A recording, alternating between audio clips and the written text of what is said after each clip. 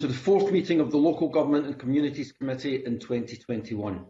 Can I ask you all to please ensure your mobile phones are in silent? And just a reminder that broadcasting will operate your camera and microphone as usual. Please allow a short pause before being called on to speak to allow them to do so. Before I go on to um, agenda item one, I'd just like to give the apologies for Annie Wells, who's not here today but is being substituted by Jeremy Balfour.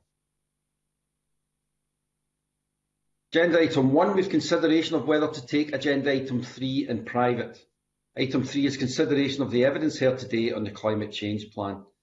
As we're meeting remotely, rather than asking whether everyone agrees, I will instead ask if anyone objects. If there is silence, I will assume you're content. Does anyone object? Okay, thank you very much. That is agreed. Item three will be taken in private. Agenda item two, the committee is taking evidence on the climate change plan update. This committee has joined three other committees in scrutinising the update to the plan, and today's focus will be on the buildings chapter of the update. Today we hear from stakeholders and experts in housing, heat energy systems, architecture and town planning.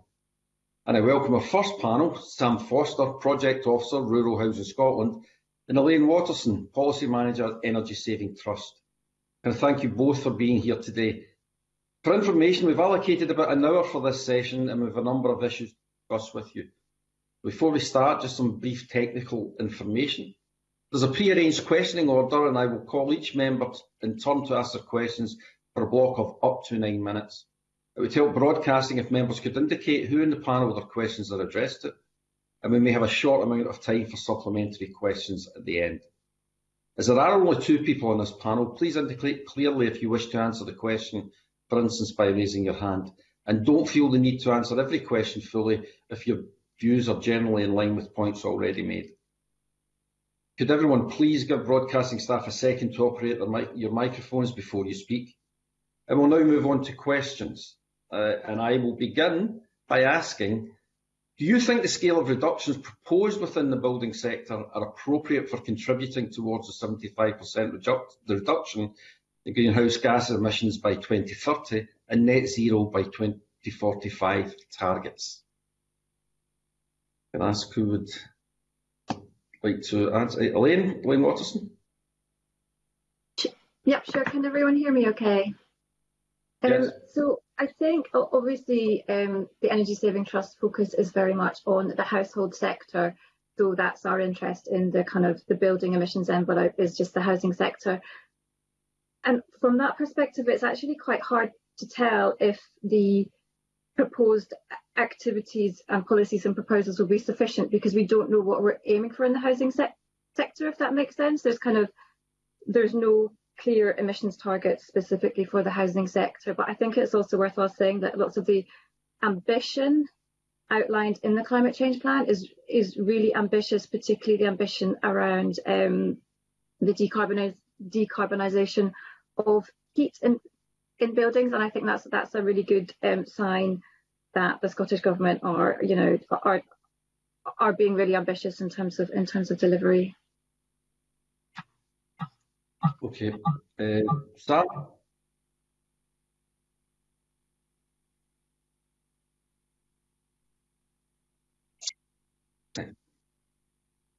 Elaine made there. What I would add is that it's imperative that we use our only statutory control mechanism, which is the building regulations, to set precisely what these targets need to be for new buildings and for refurbished buildings, because without those ambitious targets, firstly, we don't know what it is that we need to aim for, and secondly, we don't know what, how well these new buildings are going to actually achieve not just the Scottish Government's 2040 and 2045 targets, but also the 1.5 degree target that theoretically we should all be aiming for. So I think without, without those targets, we don't really know how buildings are going to contribute to this. Okay, can I ask you then, uh, Sam, do you have any views about the four revised policy outcomes in the buildings chapter of the plan and whether you think they're appropriate, specific enough and measurable? I think, like most documents of this kind, there's a degree of vagueness. so that the specific policies can be put in place to try and achieve this overall, this overarching ambition of net zero carbon in buildings. So the document as it stands, I don't think is clear enough in its ambitions. It just says net zero by 2045. As far as the priorities go, James, I think that the document as a whole prioritises the supply of energy, decarbonised energy, over reduction in the demand for energy. And my opinion is that that's the wrong way around. And that's reflected in the first two priorities, certainly. Priority one is about how the energy is supplied. Priority two is about demand reduction and energy efficiency. And as the old adage goes, prevention is better than cure. So it's better for our building stock, our existing building stock and our new buildings to be as well insulated and draft proof as possible so that their demand is low before we then put in the decarbonised energy to not just serve the heating and hot water, but all of the other energy too. So I think the, the priorities are right. I think they're in the wrong order. Okay, okay, that, that's that's a fair point then. Uh, okay, uh, Elaine, do you have any? Um, the, I, I would agree with I would agree with that. I mean, I think that energy efficiency is absolutely vital, and if you don't get that right, the problem just becomes too big. We absolutely have to reduce reduce our energy demand before we can before we can make sure that decarbonisation happens happens properly. But see, do you think that the way that the outcomes are written, in terms of one being about supply and the other being about uh, prevention, really, uh, do you think that shows where the government puts importance, or do you think that's the way it's been written? I would hope that that's just the way it's been written. I, I don't, I, I, I don't know if there's any kind of intention behind behind the way it's been written, but but I think it is yeah. important that energy efficiency has to has to come first. Demand reduction has to absolutely come first. Okay, thank you very much for that. To uh, I'll just ask you again while I've got you on. To what extent do you believe Scottish Government plans in the draft CCP encourage the development of net zero carbon places? Yeah. Elaine? Um, I think I think in terms of the plans and policies outlined, I think I think a lot more detail is needed. There's obviously the kind of high level ambition, but we need we need kind of much more detail. We need detail about what's going to happen with new builds between now and the proposed new build heat standard in 2045. Is you know are are the buildings now going to be future proofed for low carbon systems to be installed at a later date? Um, so we need much more detail on that. We need much more detail around um, what's going to happen, what the policies are that the Scottish Government's proposing about flats. Obviously, 30% of Scotland's housing stock is flats. The Scottish Government have said they're going to prioritise action on flats, but there's kind of there's no detail in there. So it, it would be, you know, we really need more detail there we probably need more detail about how the rate of renewable heating systems will be ramped up, what will be done over the next few years to build up the numbers of installations and to build the supply chain to deliver those installations.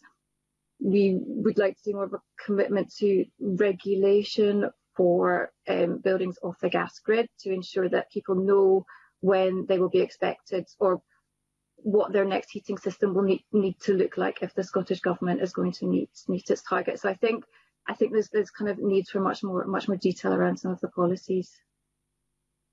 And is it also like a, a route map to reaching these targets that you're looking for? Well, there's there's some there's I think it's more in terms of how there's because there's obviously the, this kind of nice infographics in the climate change plan update that has kind of key key numbers. So, for example, it says that from 2030, at least half of Scotland's building stock will be heated using zero emission systems. So that's that's nine years away. We currently have, I think, something like between two and three thousand heat pumps going um, into homes in Scotland every year. So that that number means that essentially you're going to need to have that number of heating systems going in every week between now and 2030. So it just needs kind of a much better sense of how is that actually going to be achieved? At what, you know, at what, at what point will the Scottish Government say, okay, well, building regulations or whatever kind of mechanism will require that people will need to install a heat pump instead of a replacement oil boiler, etc., etc. And those kind of, yeah, as you say, those kind of stepping stones between now and that kind of 2030 target aren't aren't quite there yet. And I'm conscious that obviously there's a commitment to having more information in the heat and building strategy. So I think it would be good if the committee could also look at that, depending on when that's published and if that's within the kind of timeframes of your of your scrutiny process as well, because without that knowledge, it is quite hard to say whether or not you know those those actions will be sufficient to meet to meet targets. Yeah. yeah. Okay. Right. Thanks very much for that. Uh, Sam, do you get any anything further on that one? Yes, just a, a couple of points.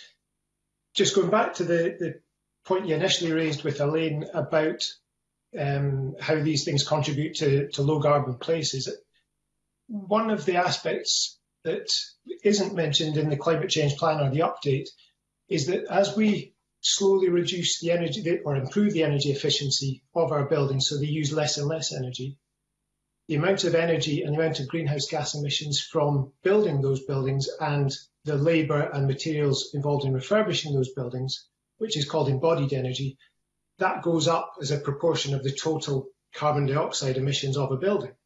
So imagine we've got a zero carbon building, doesn't emit any greenhouse gases because it's so well insulated and it's got a, a, a zero carbon heating system. All of a sudden, the climate impact of that building is all of the energy and all of the greenhouse gas emissions from constructing it or refurbishing it. And those can be huge, particularly when we're using cement and steel and materials that have a lot of greenhouse gas emissions associated with them. And the reason that this is important to place is that a lot of these materials come from abroad. So as part of our transition, this widens out the conversation from just being about buildings to being about transport and industry and infrastructure. And it means that if we can move not just to low carbon buildings, but to low embodied energy and embodied carbon buildings, then it increases the amount of local materials that we're using, like timber and other grown materials like hemp and jute, for example. And that in turn affects land use and land use change in forestry. It affects transport because we've got fewer emissions from transport bringing stuff in from the continent, and it also improves skills. So all of these things, by moving to uh, or by updating the, sorry, including in the update something that mentions embodied energy and the importance of that, I think would be a really valuable move to do because it would impact on place as well. Yeah, I'm, I'm just uh, I'm just going to pass on to uh, my vice convener in one second. But how easily do you think that is achievable? It's happening now. Yeah. And but to the extent that uh, it would make a huge difference. There's there are a number of fiscal measures that would need to be taken, um, and regulatory ones too. The single most effective way of achieving that wholesale across the country would be for the building regulations update in 2021 to do two things. The first one is to include embodied energy, this amount of energy and carbon that's used to build and refurbish buildings so that it sets targets. Those targets to achieve the 1.5 degree target the, um, that the IPCC has set, those targets have already been developed by a group in London called the Royal Institute of British Architects in one of their documents. They set targets that we should be achieving in our buildings it would be good to see those targets included in the building regulations as our only statutory control mechanism. The second thing is that we, we know that there are skills programs from Skills Development Scotland, for example, who are looking to not just upskill people in putting in insulation and draft proofing buildings, but to use materials that are low carbon materials. So we can build on existing programs so there's a slight shift from the materials and products that are being used and taught just now to these new low carbon, locally sourced materials. And through that combination of making it a mandatory thing and then creating a workforce that knows how to do it, we we've got two ways of pushing this thing forward and making it happen. Yeah, I'm going to ask you one more question. I'm, I'm uh, abusing my position as convener here, but uh, would that have a huge impact on the existing workforce? Would that in, involve a lot of training, and or, or, would it? Would you see it as being pretty similar to what they're already doing? Pretty similar. I mean, if you imagine standard timber frame construction, which is 90% of what we build in Scotland anyway. When you're insulating a timber frame, if, if you insulate it with a, a petrochemical high carbon product, like a, a rigid foam board, like the ones used in Grenfell, it's a similar process, a similar skill to using a non-toxic renewable insulation material. All you're doing is swapping one for the other. So there's very little training involved. What does come into play here, though, James, is a, a question of quality. And at the moment, we know that about 95% of the buildings that are built in Scotland fail to achieve the minimum building regulation standards for things like energy efficiency. So we say they're going to be this good, and in reality, they're down here. And that results in what's called the performance gap. This is a well documented phenomenon recorded by people like Glasgow University, Sheffield University, Oxford Brookes, people like that. But what we need to do as a as a very first measure is to make sure that the performance of buildings we say we're going to do, we actually do. We need to get rid of this performance gap.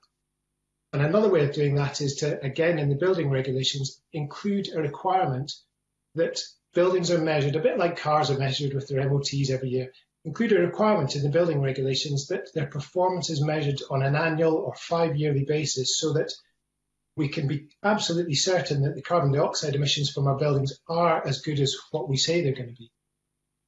Okay, okay thanks very much for that. Uh, Sarah? Very much, Convener. Can I first of all draw members' attention to my uh, register of interest my former employment with SFHA? Um, it's good to hear uh, both panellists this morning and the evidence you've submitted in advance has been really useful. So I'd like to take you to the evidence you've submitted and ask a couple of questions. Um, first of all, about existing homes, and then I was going to move on to new homes. In, in terms of existing homes, um, do you welcome the um, emphasis that's now being given to tackling fuel poverty? Because I note that fuel poverty is now affecting something like um, just under 30% of households. So in, in tackling our low carbon agenda, can you talk about how the retrofit agenda can link into the fuel poverty agenda in a practical sense? And what would be your short term priorities for making the biggest change here? Um, and can I ask Elaine uh, to kick off with an answer? Yeah, sure. I, I think it's obviously really good that the climate change plan update does, you know, propose to kind of much better integrate fuel poverty and climate change. I think in terms of how practically that can be done, I suppose I'd fully point you to the work that's already happening under the Warmer Home Scotland programme.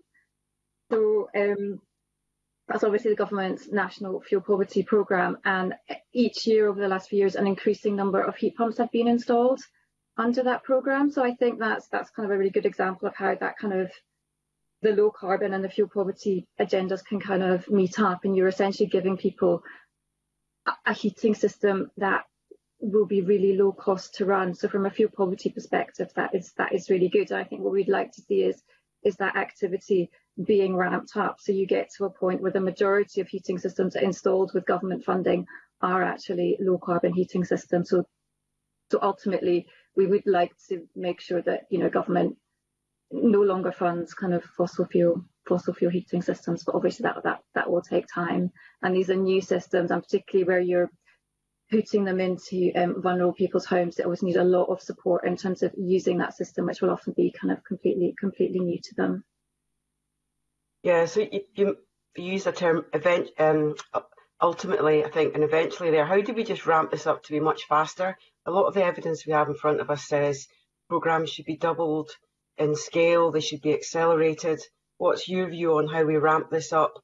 Um, and, and I was thinking not just for low income households, but people who can't afford to install the kit in their existing homes but don't necessarily meet um, the low income requirement to get support? Um, in terms of in terms of government support, there's actually quite a lot of support available at the moment. Um, a new cashback was launched um, towards the end of last year, which builds on the existing Home Energy Scotland loan scheme. So essentially, that gives a cashback of up to £7,500 for a renewable heating system with a remaining um, £2,500 loan.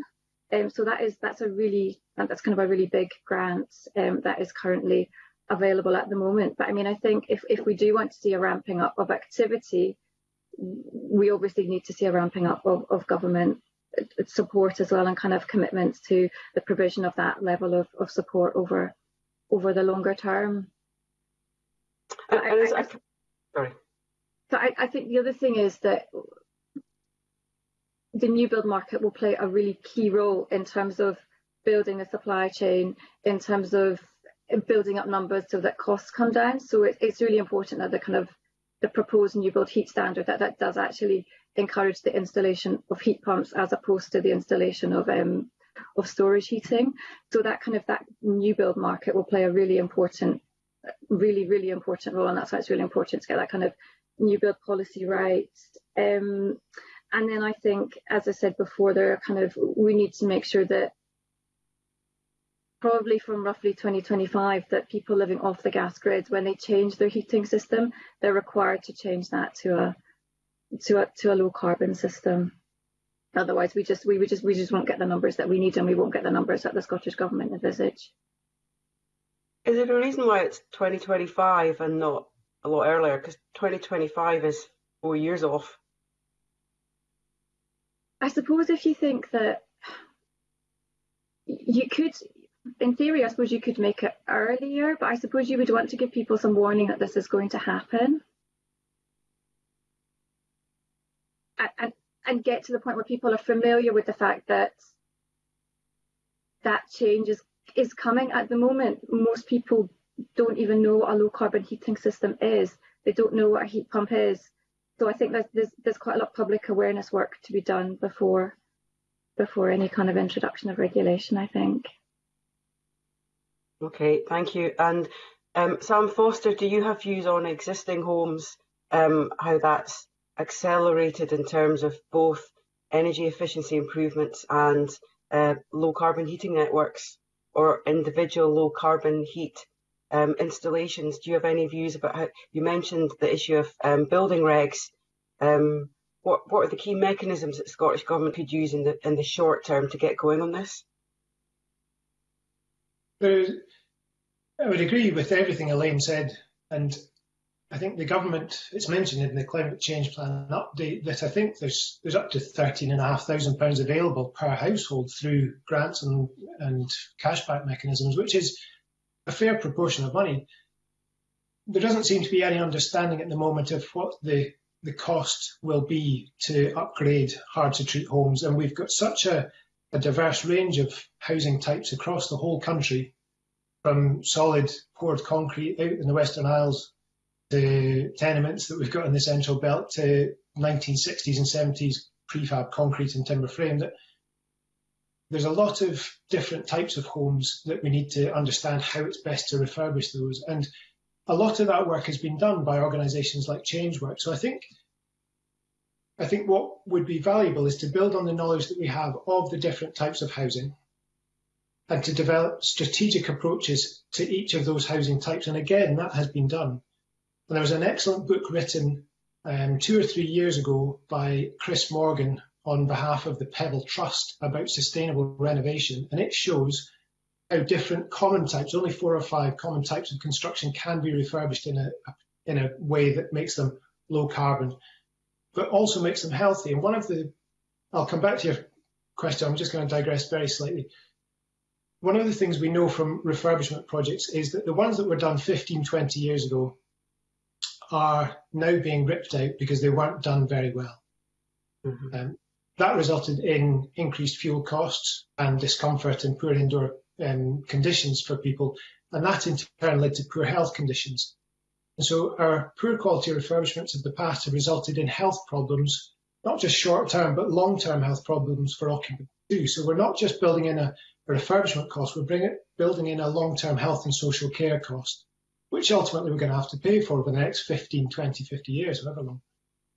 So whichever type of heating system is used and whichever type of refurbishment mechanisms, refurbishment strategies are used for these various types of construction need to be done in such a way that a much wider approach is taken than just looking at energy efficiency. Health has to be a core part of this because otherwise we've seen this from some of the the energy company obligation refurbishments from six or seven years ago where they put external wall insulation on buildings, it was done so poorly that the internal conditions of these homes were worse after the refurbishments than before.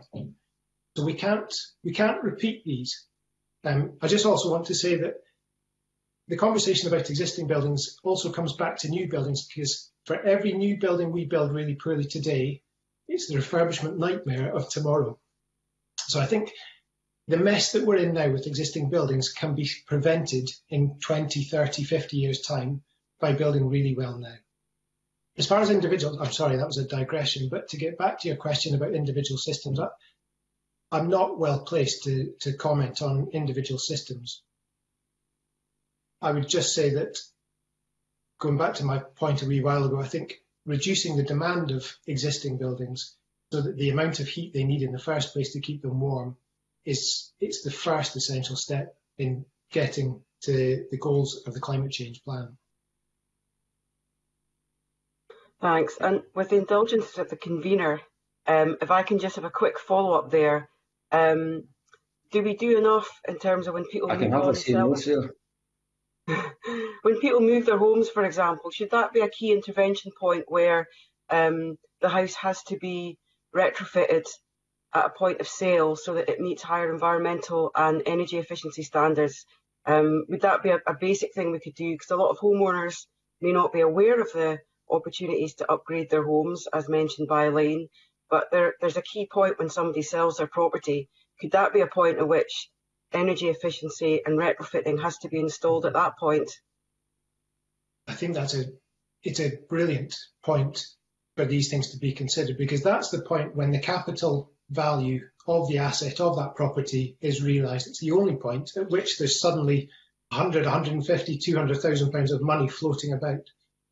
And the 13,500 pounds that might be available from government to help homeowners, I suspect on some home refurbishment projects will only will only just touch the surface, thirteen and a half thousand pounds.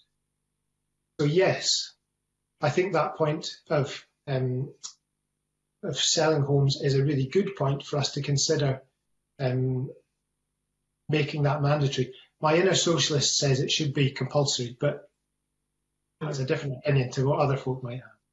Yeah, yes, well, I accept, Except for tenements and flats, that might not be so achievable because you might need multiple owners to get involved. But I was thinking in terms of bespoke single unit properties, that could be something that part of a game changer. Thanks very much, convener. Okay, thank you. Uh, Alexander? Thank you, convener, and good morning. Sam, you talked about earlier the homes that are hard to, heat and also talks about the, the failure uh, to achieve energy efficiency across a lot of stock that we have uh, in the country. So can I ask the first question of you, does the plan sufficiently challenge and recognise the particular challenges that rural areas face, uh, especially when they're trying to reduce emissions from the type of buildings that they have? Because the, in the rural side of things, they're older, uh, the stock is much more uh, difficult to manage. So, so do you believe that that there is enough uh, in the plan to, to recognise that with the rural challenges that we face? No, in a word. Um, you're right. Uh, I'm pleased you've, you've brought that up about the, the disparity between rural and urban areas because living in a rural area, we I live in a rural area, and you face challenges, you face extra costs that folk in urban areas just don't have. And you don't really grumble about it. You don't even think about it because it's a normal part of life. You know you have to drive to the supermarket to get the shop uh, to get the shopping, and you can't just nip to the the swimming pool. Certainly not just now, but there are so many additional costs in living in rural areas, and some of those are subsidised. But when it comes to the cost of heating, I don't I don't believe that being off the gas grid is a well, being off the gas grid is is part of the problem, um, and you'll know yourself from the research that's been done that the, uh, a much higher proportion of folk in rural areas live um, or heat their homes with solid fuel systems, and a lot of people are still using coal and coke as well. It's much more difficult, and there there are far fewer incentives in rural areas for folk to upgrade these, these heating systems, particularly because the costs in rural areas tend to be higher. Part of the reason the cost of doing upgrades in rural areas is higher is that they tend to be one-offs in rural areas. It will be a cottage here and a house here. It'll not be a whole tenement. It'll not be a whole row of homes. So the, the additional cost of upgrading a single house is significant. Um, so no, I don't think there is enough emphasis in the climate change plan as it is, or the update, on the the additional challenges that are faced in rural areas. And Elaine, uh, following on from that, so there is less incentives available to people in the rural communities. Uh, and, and how do you see that uh, being progressed to ensure that that is captured uh, so that, that the rural side of things is getting the right balance and is getting the right opportunity to ensure that they can actively participate in some of these incentives? Um, I think I think that's a really important question. I mean, I, I, just also to add to that, because um, I know you in the, the next session, Elizabeth Leighton is talking, and I know that the Existing Homes Alliance are doing some particular work around a kind of rural transition support, what support might be necessary for rural areas. So just to flag that to you as something you might also want to ask her. Um, yeah, I mean, obviously there's there's there is grant support available.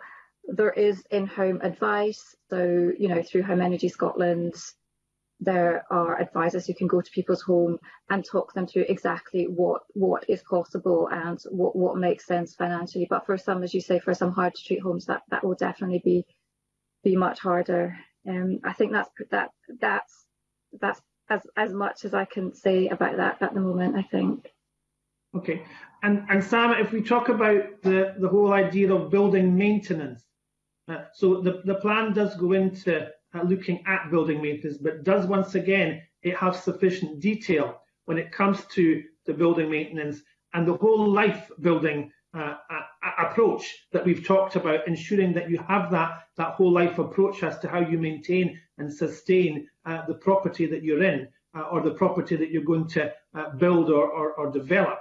Uh, uh, do you think the plan has that captured that properly and is giving us as, as robust requirements that are, are necessary?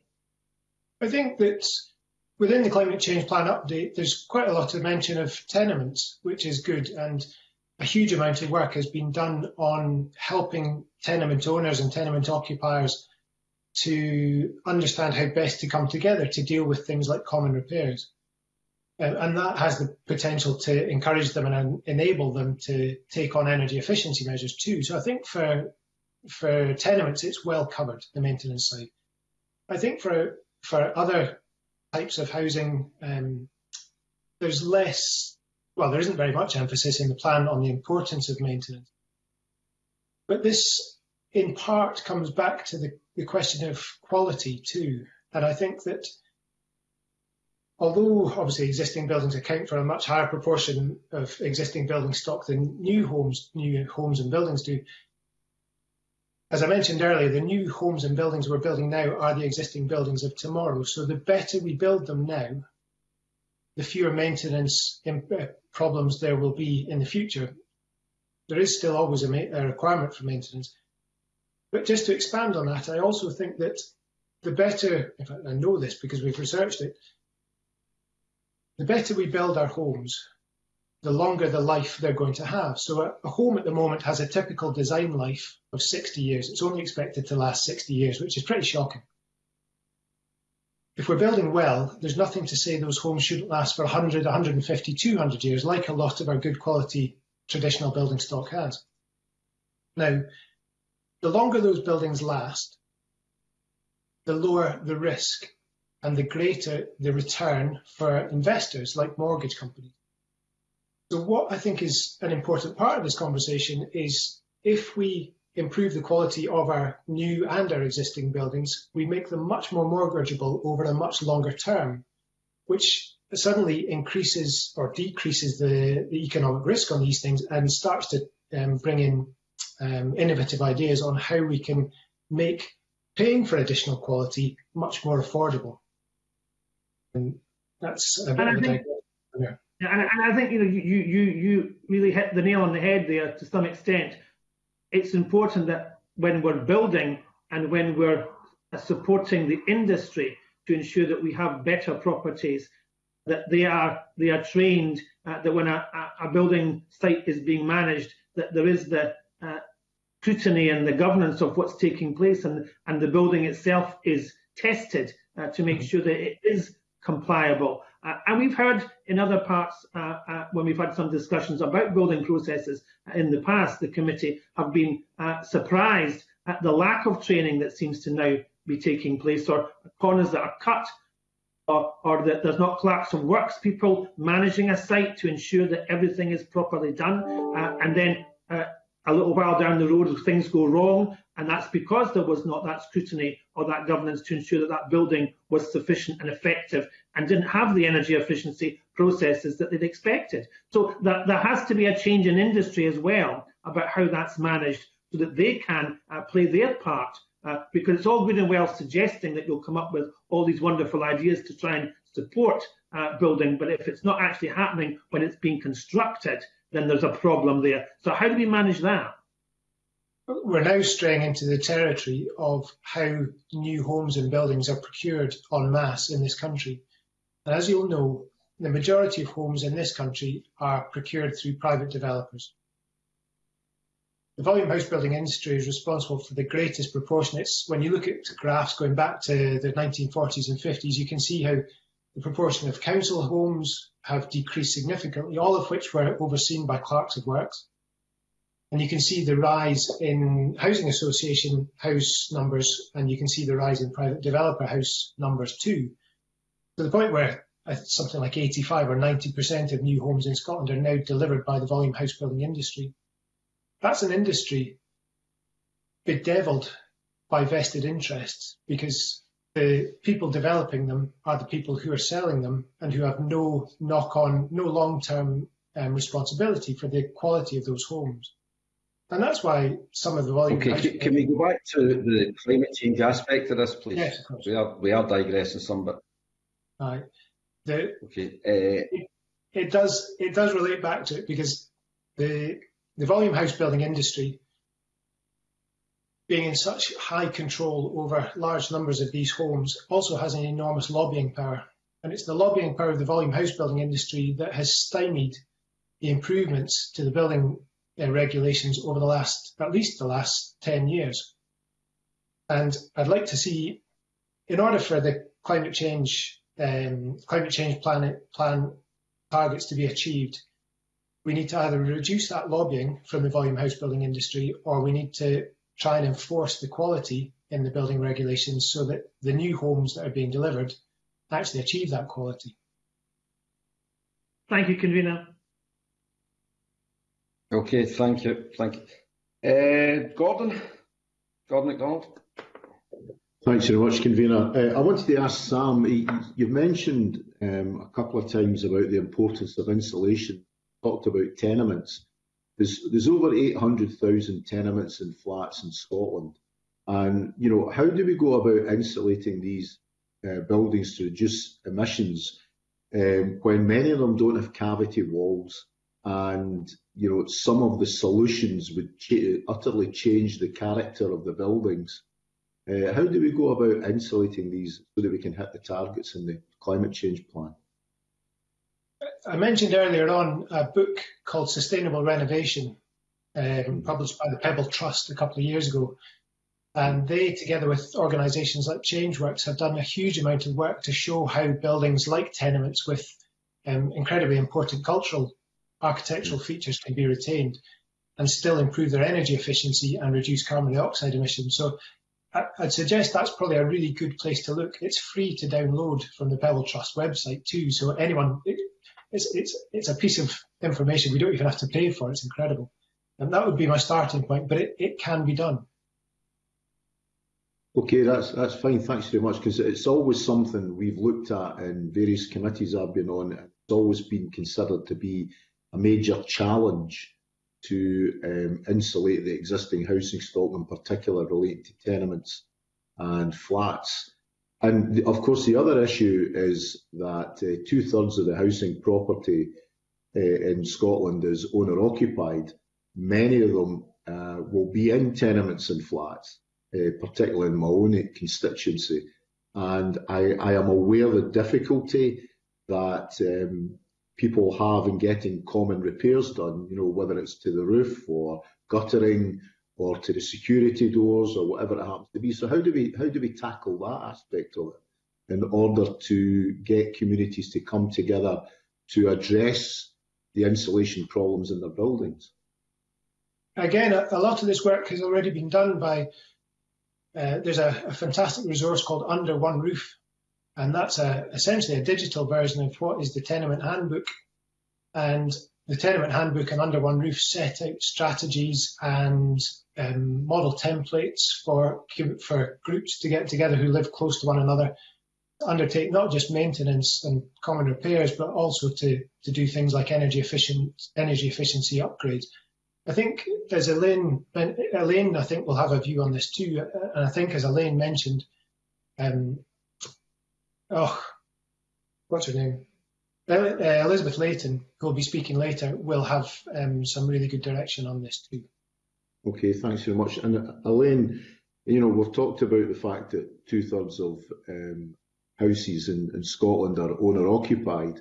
Has there been enough public engagement? And, you know, in terms of previous uh, fuel poverty uh, campaigns that have been run, what, what, would be one that had a good take up and was efficiently run that we could replicate if we were to um, encourage homeowners to tackle uh, insulation and put in low energy or low carbon uh, heating systems? I, I think that the work under Warmer Home Scotland is brilliant in terms of encouraging people to take up the fuel poverty scheme that is on offer. That is kind of a kind of gold standard.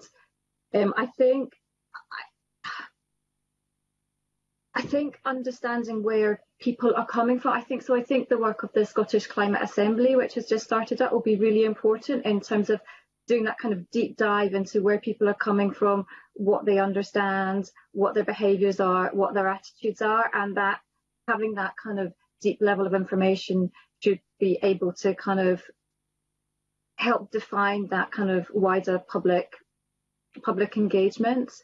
Um, but I think obviously it's, it's important that people know that change is coming, that they're going to need to change their heating systems, what those heating systems might look like, etc., etc. And then when they know that, and they're willing to make that change, I guess it, it, it's it's having the kind of support to enable them to do that. It's not just a question of saying, right, you need a heat pump, off you go and do it. It's kind of saying, well, you know, there's this financial incentives available.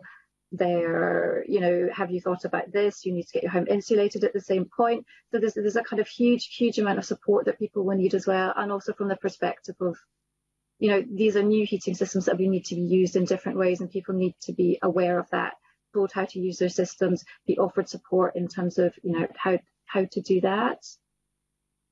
And in, in raising awareness with the public about these new heating systems and the need for uh, insulation, well, is there a role there for councils? I think there is a role there for councils. I mean, the councils obviously know their local areas, they know the building stock in the areas. So I think I think there definitely is a role for councils. I mean, they obviously at the moment they they um, run area-based energy efficiency schemes and will often run their own schemes as well. So um, so there's I think there's definitely a role for councils there. And obviously councils communicate with their local areas with with people in their local areas as well. For example, through council tax bills, there's a, a whole range of ways that councils communicate with with people living um, in their communities. So there's already kind of opportunities for, for them to, to do more. And Sam, have you got any view about um, what councils should be involved in in relation to increasing the uptake in um, low carbon heating and insulation? I just picking up on the point Elaine made. Um, local authorities know their housing stock really, really well, and being able to go and speak to individuals and to campaign so that people, when they see information on insulation measures or heating systems that relate directly to their situation, is going to firstly make it much more interesting. So they're going to listen to it and they're going to take it on board much more than if it's just a, a blanket policy that says homes in Fife are getting this kind of insulation or this kind of heating system. So a local approach that the housing, the local authorities can help with is key to that. And do you think the plan's uh, clear enough that it actually uh, wants councils to be involved and give that level of support to individuals? No, but I'm not sure that's the nature of how this report is written. As I mentioned earlier, these, these reports tend to be necessarily quite vague so that the detail can be added in later. Okay, thanks very much, Convener. Thank you very much, Gordon. Uh, Andy, Andy Wightman. Uh, hello, good morning. Thanks, Convener. Um, if I just follow that point that Sam uh, was talking about with Gordon MacDonald there, um, ac across Europe, you know, municipalities and cities are leading the way in, in much of the uh, work to mitigate climate change. Do you think Scotland's councils have sufficient powers and capacities to do what Sam's talking about there, which is to take a local approach have local plans and implement them? At the moment, no. I think we need to make I think we need to make much more use of the tools that exist uh, at a much more local level, like community action plans and local place plans. And I think those should be um, those should be statutory mechanisms for communities to come together and to say, well, we think this is what what's needed in our area and it reflects what our specific requirements are and to work very closely with the local authorities so that these um, the local place plans and community action plans get built into things like local development plans, which then go back up the chain to help inform national planning frameworks, for example. So I think by themselves, local authorities can't do it. I don't think there's enough um, substructure to them. Um, they need direct involvement from communities and that enablement too. And uh, a question for Elaine. Um, I mean, following on from that, in terms of local authorities, um, my understanding is uh, sorry, Energy Savings Trust also hold a lot of data about Scotland's housing stock. Do we know enough about Scotland's housing stock, then tying that into the technical stuff that Sam talked about in relationship to what needs done to different buildings, to be able to develop a detailed plan of retrofitting and refurbishment to, uh, to, to, to, to, to achieve appropriate levels of insulation? Think we do. We have tools like um, home analytics, which um, literally down to the individual home level will have data about what each home in Scotland looks like from an an energy performance perspective. So there are huge amounts of, of data available and that are made available to local authorities, for example, to help them plan their work and to plan area-based approaches and, and where it makes sense to to undertake activity to tackle fuel poverty, for example. And is that information available to homeowners and occupiers? It's available to local authorities. The information, I suppose, the primary information that's available to householders would be via their energy performance certificates. If they have one. If if they have one, absolutely. If they have one, yeah. I, am um, living. I'm living in a property that's only just got one. oh, Okay, yeah. So, so obviously, yeah, you're you're right. Not all, not all, not all homes have energy performance certificates. I think something like sixty percent of homes in Scotland now have an energy performance certificate. So, so you're right. A, a significant proportion don't. Um, but okay, I. I the, the other way that householders can access that information is by doing things like calling Home Energy Scotland, who have access to information and will talk the householder through, you know, try and get a, a kind of it's called a home energy check, so kind of get a rough idea from the householder about how old the property is, how many rooms it has, all those kinds of things to kind of give them a sense of what what might be possible in the home. And then obviously householders also have access to um, to in-home advice as well if they're considering kind of more complicated or more expensive measures they have access to to an in-home advisor who can come into their home but obviously not at the moment but um, without without COVID restrictions, um, they can come into the home, they can they can do a proper survey of the home and provide a report to the householder about exactly what energy efficiency measures would be appropriate for that home, what they would save in terms of carbon and, and money. So, the, so there, there is kind of a lot of support available to householders um, in terms of what they might be able to do to their home. Okay, and I mean, I think a lot of the focus from people who have been um, looking at Scotland's climate change plans is that, as you've, as you've noted, they tend to be quite high level. We need detailed action plans uh, that to, to have timescales and practical outputs and money uh, attached to them. I just want to ask you, what role do you think the tax system might play? It's not mentioned in the in, in much of the climate change uh, literature, but for example, vehicle excise duty, you now pay according to the carbon emissions of the vehicle. Is there not a case for a tax system in relationship to buildings, whether it's land and buildings transaction tax or uh, uh, recurrent taxation like non-domestic rates and council tax, link that to uh, energy performance and carbon emissions? I think I think there's absolutely the potential for that. It's actually in the list of policies at the back of the climate change plan update. There is something in there about I think the Scottish Government are proposing to look at council tax as as, as a kind of mechanism to incentivise um, energy efficiency. So that's obviously something that they're considering. It's an issue that I did research on this going back about 15 years ago. So there's there has been a huge amount of research. There's you know there's more recent research by Citizens Advice talking about the fact that you know people respond slightly differently to tax incentives than they might to other incentive. I mean, from from kind of research with customers, whether that plays out in practice, I don't know. But I think absolutely it's important that the government looks at this. And so obviously we're pleased to see that they've kind of committed to looking at to looking at that within the climate change plan update. But I mean, I, I guess whether there is a question about whether it makes sense to offer grants directly as, as currently happens or or through a different mechanism. But I mean, the support is there at the moment. You know, people can access really significant grants for, for renewable heating. Um, whether it makes sense to change the way that's offered through, say, something like council tax discounts is is is, is a question, and I think it does it does need to be looked at more. Okay, thanks. And, and coming back to Sam, um, you talked about uh, building standards, which of course apply to new buildings, but building standards don't apply to existing buildings. We have, for example, tolerable standards, but they are not as, as, as robust. Is there a case for applying building standards to existing buildings?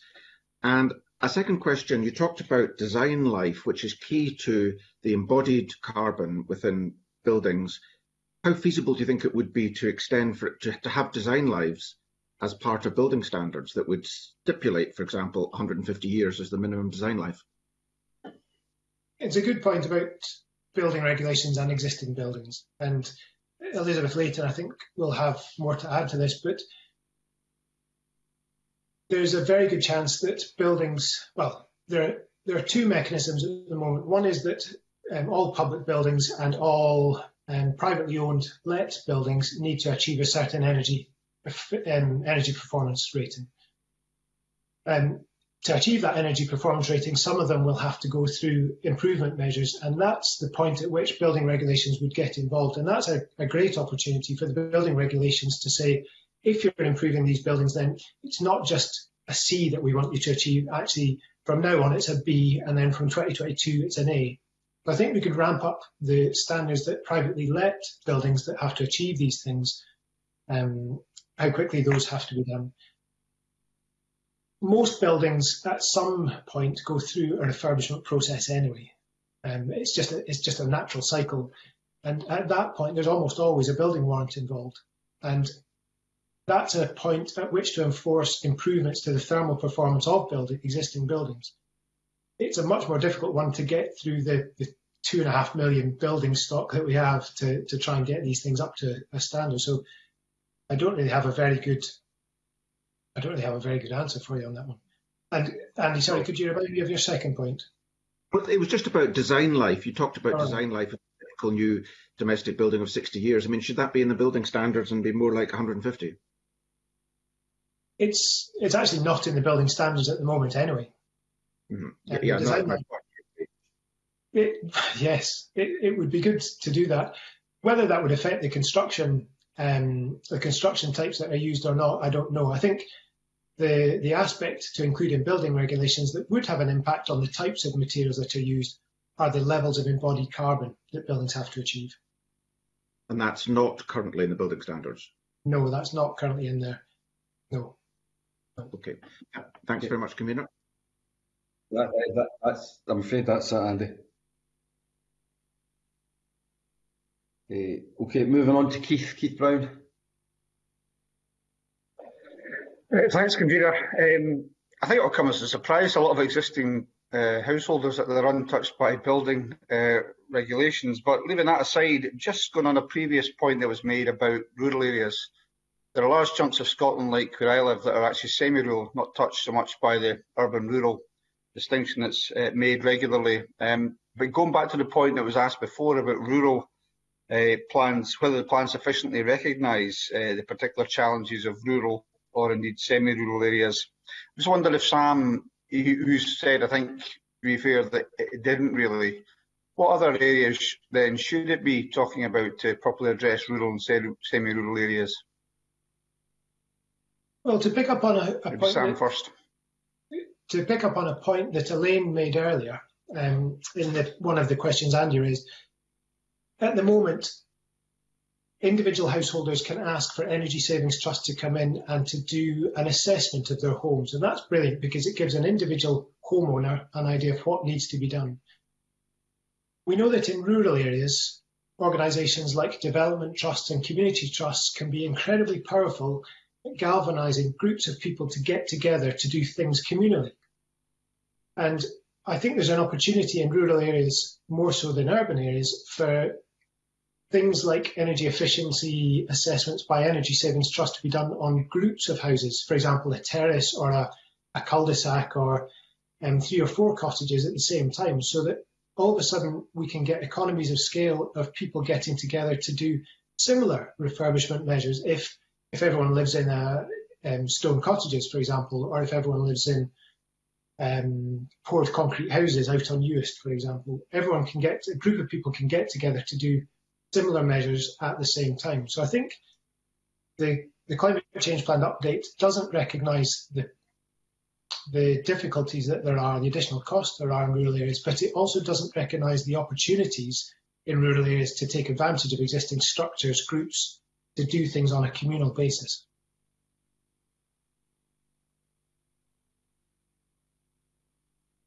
And Elaine? I, I, suppose the other issue from a kind of rural perspective is that it, it can obviously be harder to find suppliers. It can be harder to, harder to find someone local to fit your heat pump or to maintain your heat pump or to fix it when it breaks. And that's that's a big issue, particularly for people living very rurally, where a where an engineer might have to travel for a considerable amount of miles in order to get to someone's home. So I think that there's probably more that can be done just in terms of building the supply chain in those in those rural areas as well, and giving people confidence that when things do go wrong, that that they will be able to find someone that can that can that can help and that can fix their system quickly, and that they won't be left with a broken system for for any amount of time. But I agree with um, what Sam was saying. I think that that whole kind of that, that there are probably also um, opportunities to take advantage of doing doing things communally and doing doing things at, at the same time to try and reduce reduce costs in rural areas. Okay, I suppose it's really the question of what else needs to be in the plan to help address this, but the points that you've both made, I think, help with that. Um, I just wonder, my only other question really was about sort of um, comparative progress. Um, I think we're getting a sense of where we have to be to try and uh, catch up and meet the challenge that's there. But I just wonder where Scotland currently sits uh, vis-a-vis, -vis, say, Wales or England or comparable countries. We all know, I think, how much more there is to do. But given some of the grants that have been talked about, some of the progress that's been made, where does Scotland currently sit in this year of COP26 in terms of trying to address climate change? Elaine first. Energy Saving Trust, we've got offices across across the UK and we spend a lot of time um, talking to talking to people in the rest of the UK, talking about what a brilliant job Scotland is doing and what the other countries of the UK can learn from Scotland in terms of energy efficiency delivery. I mean, I think Scotland is just absolutely way ahead in terms of in terms of activity in the household sector than than the other countries in the UK. I, I can provide some. So, for example, we've got a really good we've got a really good fuel poverty program. We've got a brilliant advice service. there are grants and loans that have been available for for good chunks of time. Um, there's a, a um, programs to support the supply chain. So there's a, there's a huge amount of support available in Scotland that just that just isn't available elsewhere in the UK.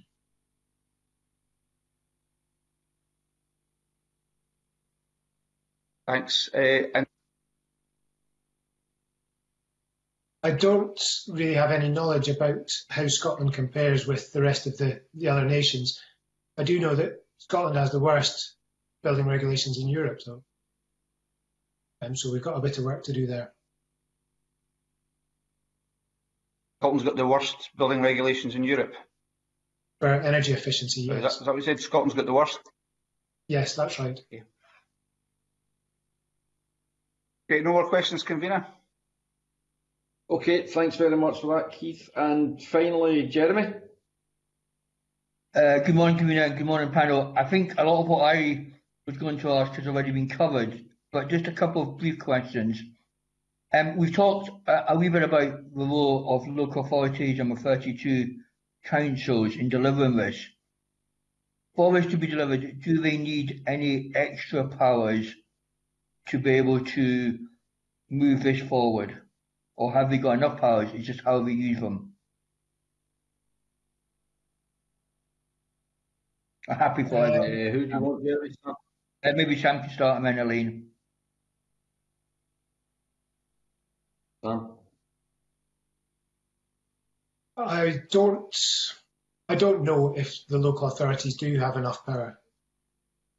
Um, one of the one of the biggest things I'd like to see is actually at the next level up, and it's to do with VAT, uh, VAT on the refurbishment of existing buildings. But this is VAT is obviously a, a resolved matter, sorry, a reserved matter for the Westminster government that the Scottish Parliament has no control over. It would be brilliant if VAT could be put at the same rate for new build and for refurbishment, so that there's no um, there's no incentive to build new instead of refurbish. Um, I, I don't have any comment on what powers local authorities might need, though.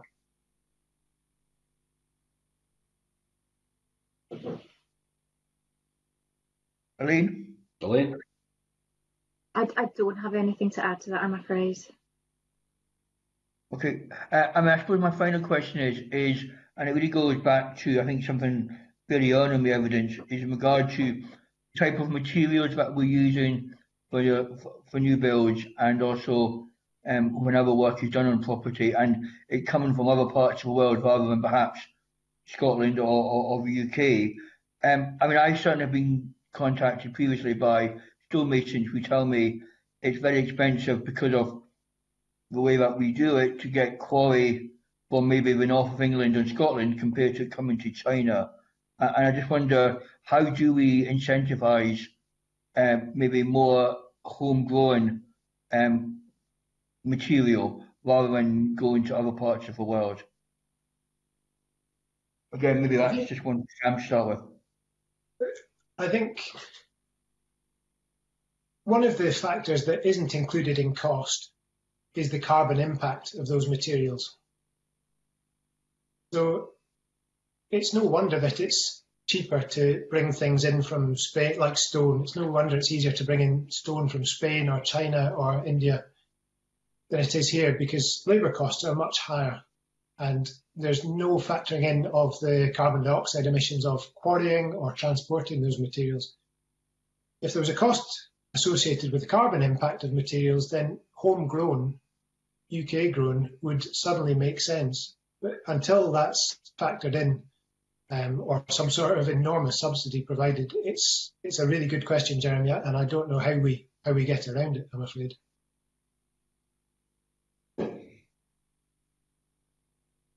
Elaine, do you have any comments?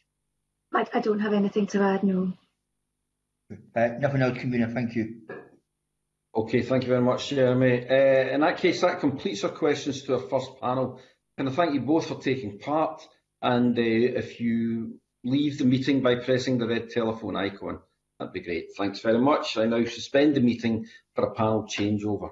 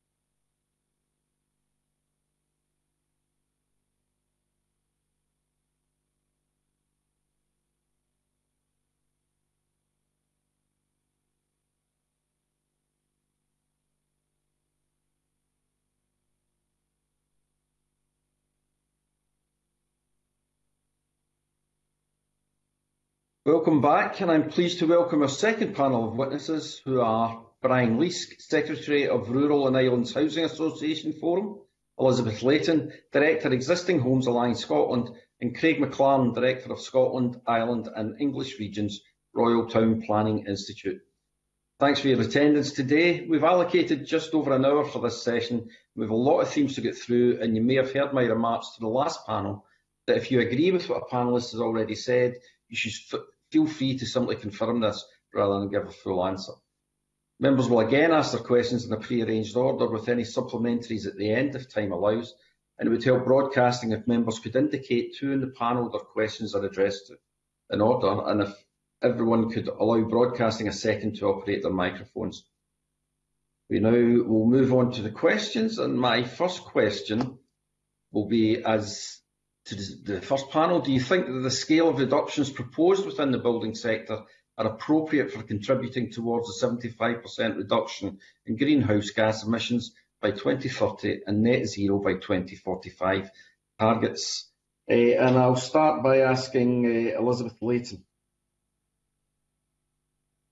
Okay, thank you, convener, and thank you for inviting us to join the panel. Uh, the we believe that the emission reduction targets are are we we not technically expert on this, but they are look ambitious. It is for the building sector as a whole, and our expertise is related to the um, homes domestic sector, and there are not separate figures for residential, which we think would be useful to have. Um, they they certainly are ambitious because they we've had little progress in emissions reduction in the building sector since 2014. 16% uh, reduction in the last 10 years, and yet we're going to be looking at a 66% reduction in just nine years. So it is it is hugely ambitious. It needs to be because of the climate emergency.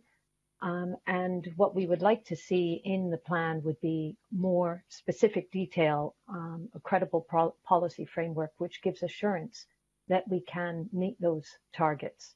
I'd also like to point out that the progress is slowing in terms of improving the housing stock, um, and non-domestic sector is is probably in um, more of an unknown state. We have less information there, but a business as usual upgrades to a good energy performance of housing is going at about 40,000 homes a year. And that rate is going to need to go more than double, going to be more than so 100,000 a year. And yet at the moment, progress is slowing. It needs to be going in the other direction.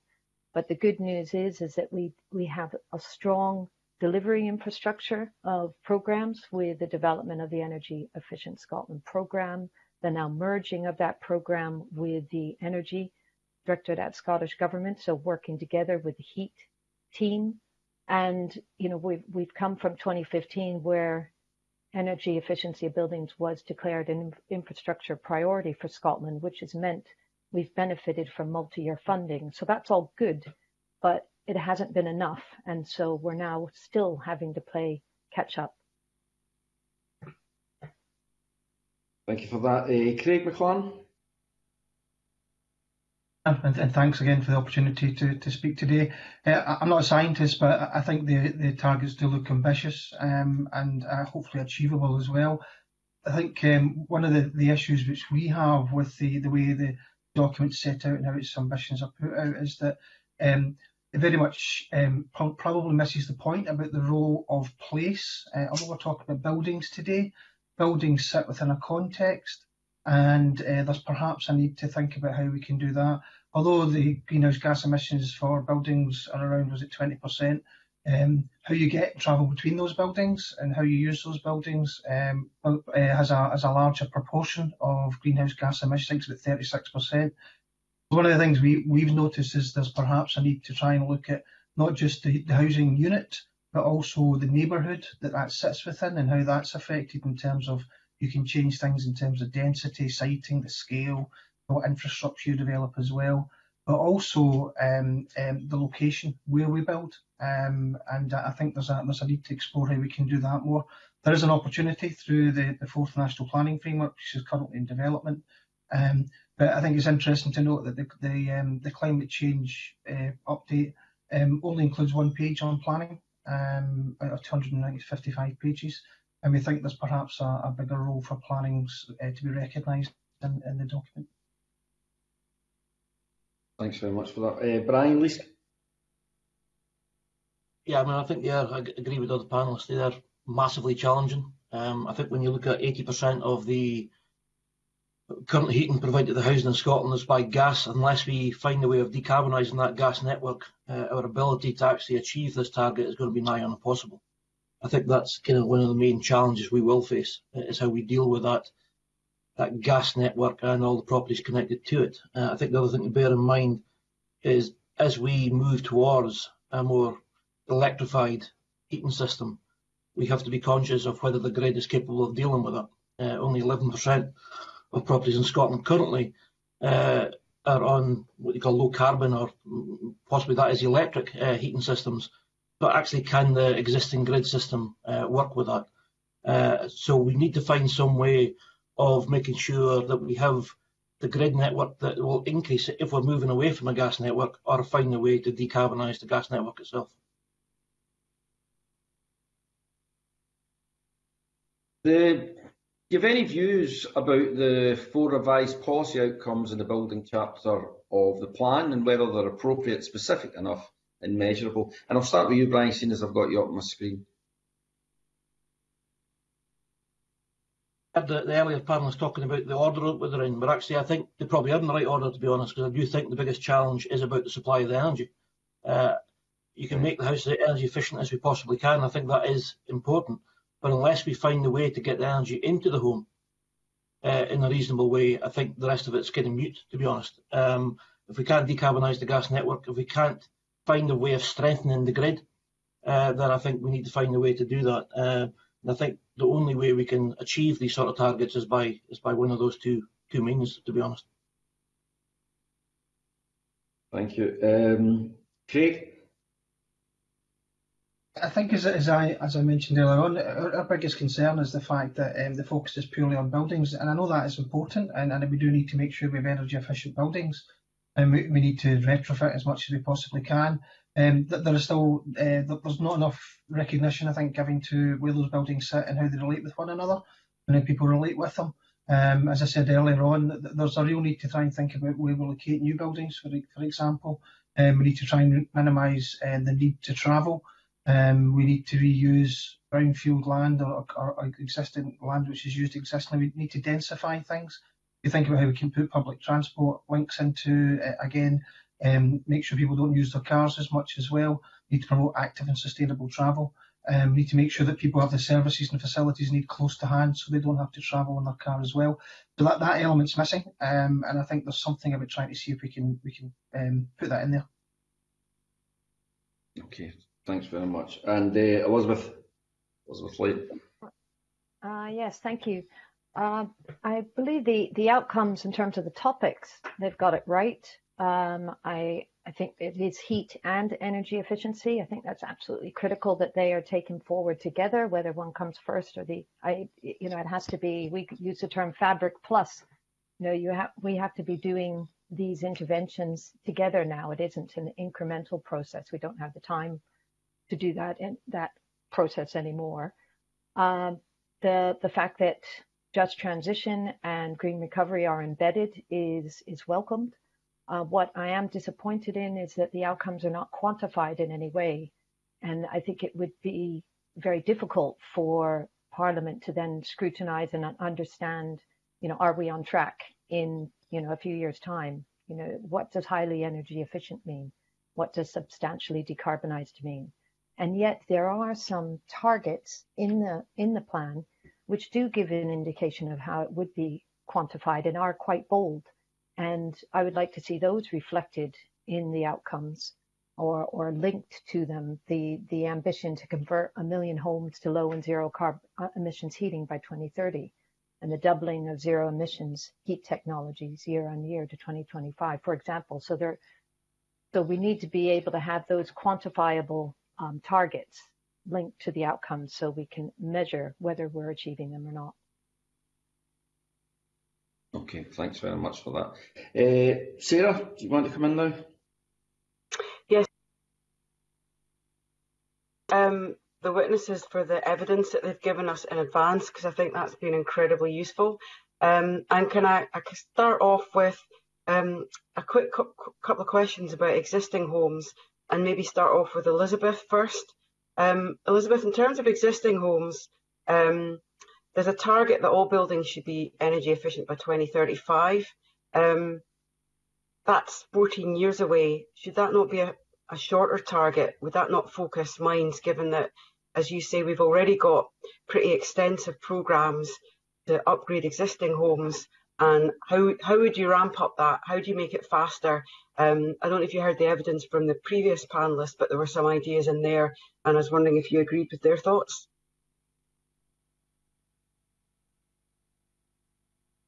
This, uh, the date that's been suggested, and if you look in the annex, um, they do suggest how that standard of uh, energy, high energy efficiency would be measured is with an energy performance certificate band C.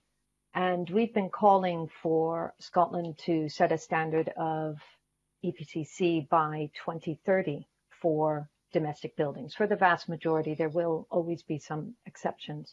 And we think that is completely doable and absolutely necessary in the face of the climate crisis.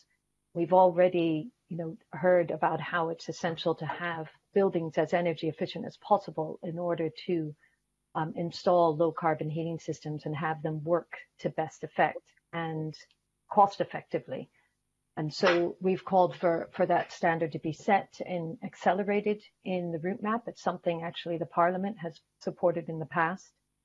Uh, and that we think it actually should be mandatory. There should be a regulatory standard to achieve that. And that is a way that we could then drive, drive the market and give people advance warning so that they are able to take care um, advantage of the many incentives and advice programs that Elaine Watterson was speaking out speaking about earlier. Um, and without setting that standard, then it is harder to drive the demand, and therefore the supply chain doesn't respond in terms of growing their supply chain to a guaranteed pipeline of um, ambition going forward. Okay, thank you. Uh, can I pick up the, the point that was made um, about buildings and the need for um, low carbon electricity? Um, I was particularly interested in the experience in Shetland in terms of the, the building stock that you're now doing, Brian. Are you linking in uh, electricity production on homes as well as doing um, energy efficiency in your new build? And are you doing any of that in terms of retrofitting?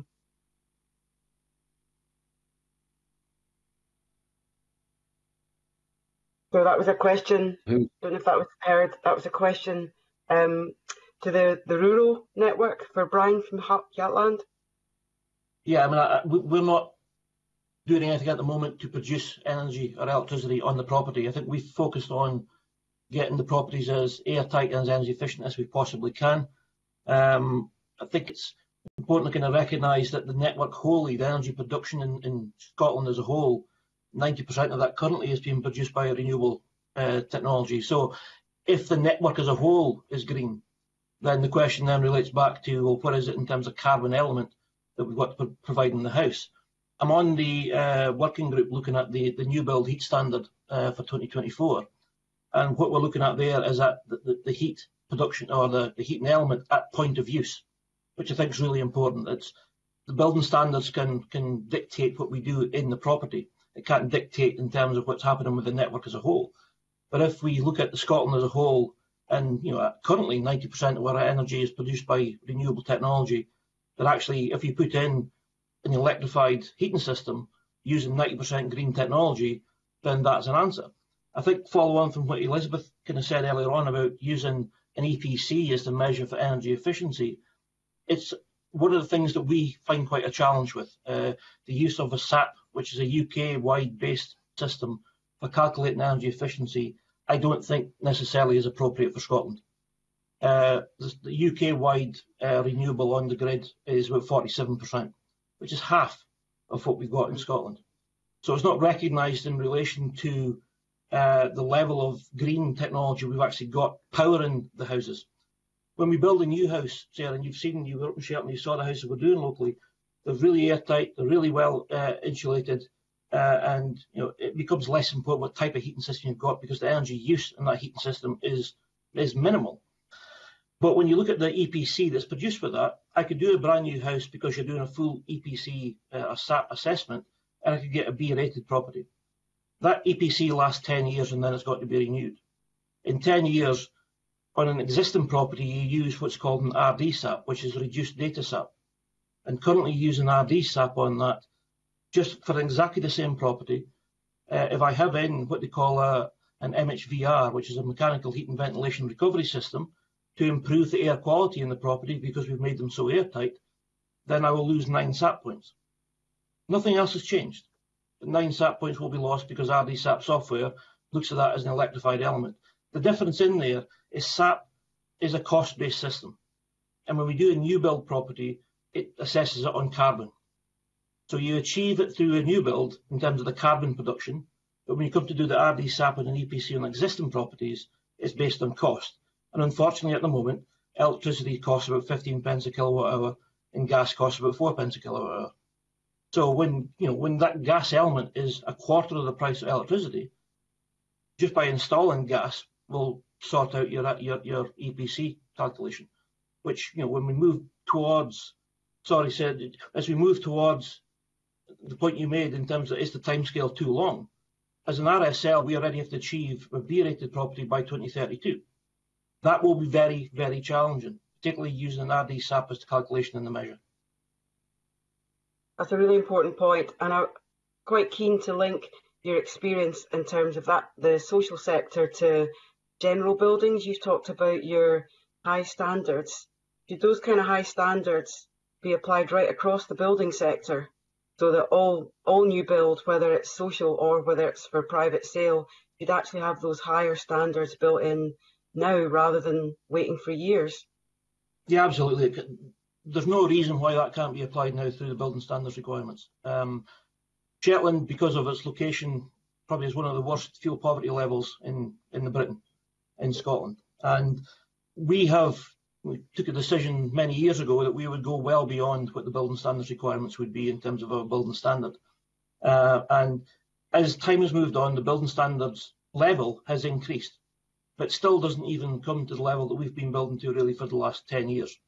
Uh, so there's no reason why the building standards requirements couldn't exceed uh, what they are at the moment, go beyond looking at the carbon element of the heat and go actually to the fabric of the building as well. Thanks, that's very helpful evidence. And if I could turn to Craig from RTPI now, uh, you make a powerful um, bid for planning to actually be part of this process in, in, terms of not just the individual buildings, but that wider community network um, which I think we can we can take in terms of um, transport in particular. Um, thinking about the buildings though as networks, um, there's quite a lot of emphasis on decarbonising existing heat networks and building new ones. How does planning begin to engage in that going forward um, in practice? Because we're looking at 2024, 2025 as, as game-changing timescales but planning is operating now. Isn't there a, a, need for planning to be able to just accelerate some of this work so that the, the houses that will be built are actually meeting higher standards and that planning can make sure that wider approach is delivered now, not waiting for another 10 years? Yeah, the, the, the heat networks thing is, is an interesting um, uh, an interesting thing for planning. I think it's something we are trying to facilitate. I think one of the issues we have is, is planning quite often um, is brought in late in the day. Um, uh, and it's most quite often planning seen as the, the, barrier which you have to jump over, whereas I actually see planning much more as a facilitator and, and an enabler. Um, so what we really need to try and do is make sure that um, we engage planning authorities and planners engaged at the start um, of, of discussions on this, because that allows us to actually put, put processes, procedures, and things in place to make that work more effectively. So I think there's a need to do that. I think there's also a need to try and build it into the longer term, um, and the role of local development plans is an important part of that. And I'd like to see the national planning framework uh, say uh, say quite a lot about how we can build uh, network heat networks and be proactive in doing that. And I suppose the, the, other thing we can look at in the shorter term is I'm, I'm never a fan of thinking about how you need to skip round the planning system, but there are instances where you can put in place permitted development rights for things which don't have that much impact, which minimises the need to go through the planning process. And there may be particular aspects of the heat networks um, sort of development process where we could look at that as well. I know that's something which Scottish Government are, are looking at as part of the review of the, the permitted development rights. Okay, Thanks. Sarah, I'm going to have to move. Thank you. Uh, Jeremy? Uh, uh, and good morning to the panel. Um, I wonder if I can ask a question around um, how local authorities are involved in this and what role local authorities have to play. Um, and particularly, do local authorities have enough uh, power at the moment to take this forward? Um, and I wonder whether um, maybe Elizabeth could start with that. Okay, yes, uh, thank you. Um, I think local authorities are an absolute linchpin to success of achieving these targets. They are, as, as you heard from the previous panel, they, they know their housing stock, their building stock, and they, very importantly, there's been discussion of them being given a duty to create local heat and energy efficiency strategies. And we think that's that's essential that they are given that duty, but not just the duty, but the resources so that they have the capacity to develop these. They they there is in the in the plan there is a target to have those completed, I think, believe by 2023. We think it's as far as possible that could be brought forward and where we have good plans in place that have been done on a pilot basis those should start to be implemented because only once we have those do we know what the the zoning is for heat or what the most appropriate heating technologies are going to be or where the priority should be for your resources to go into neighborhood big community retrofit programs.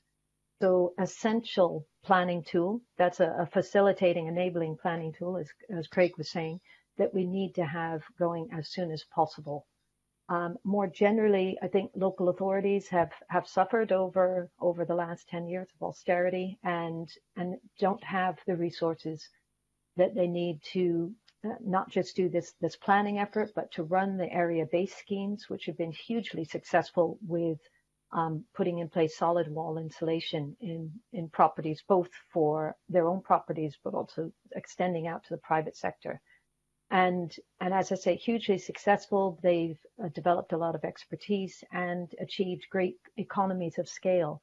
And we think that could that model could be extended to develop into energy service companies where they are in partnership with the private sector, developing on a um, on a not-for-profit basis, often the low carbon and energy efficiency solutions that we need on a wider scale. Um, local authorities will also need powers for enforcement, for regulation of, of these standards, um, and for facilitating um, community efforts, community partnership efforts to um, undertake these big energy efficiency programs. So without a doubt, they are, as I said, absolute linchpin to making things happen. And I'd like to see more attention and support given to them in the climate change plan for the building sector. I don't know if anyone else has a comment to make. Okay. Yeah, could I come in? Um, thanks, Jeremy. Um, I, I, think, as, as Elizabeth said, I think um, local authorities are absolutely key to the delivery of this.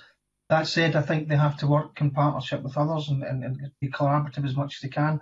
From a planning perspective, I think planning is role both in terms of its regulatory function and, and sort of setting standards um, and making sure those standards are, are adhered to.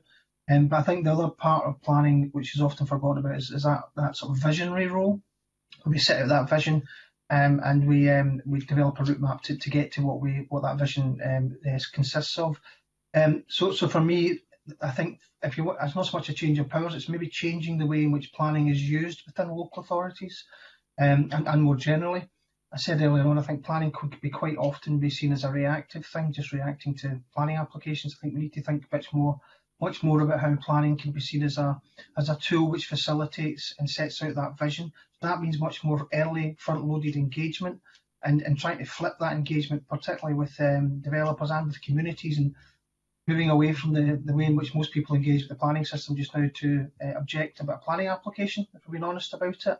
And that's that's their that's their, their right and and they're, they're perfectly legitimate in doing that. But I would like us to flip it to be much more about asking people what they want for the communities um, and having a discussion, an honest discussion about that and developing a route map as well. So trying to bring planning in earlier, as I've said as well. Also making planning a much more part of the sort of corporate machinery of local government. Um, just now, uh, planning can as often be just brought in late in the day. I think we need to try and bring it in earlier, as I've said, and there's opportunities there the, the provisions in the Planning Act for the new chief planning officers who could be this sort of place sustainability champion within local authorities as well. Um, and there are other opportunities from things such as the place standard and the place principle, which is out there. Um, the small issue, I think, the place principle is that it is a principle and sort of very almost advisory. I think we need to operationalise that to help us to make sure that we, we think about how our places are going to look like um, and what they're going to be and, and, how decisions are made which actually affect these places, which can have an impact on uh, on climate change. Craig, can, can I just come back on two points on that um, and then open it to the other panel? I mean, firstly, I was interested in regard to what the previous panel said um, about our building regulations really being the worst in Europe. Is, that your view? Um, and secondly, um, as someone who sat on the planning committee for 10 years in Edinburgh Council, uh, there is obviously, you know, political pressure, there is local communities when you're making these decisions. And again, I just wonder how you talk about engaging with the community as to what they want. And um, my experience as a local councillor is that half the community want one thing another half want the other thing. So how do we, in some ways, depoliticise planning and make it much more visionary in your view? Uh, thanks. Uh, the first question around uh, building regs, I, I, I, not as close to building regulations um, uh, as perhaps others are, so, so I can't really comment on that.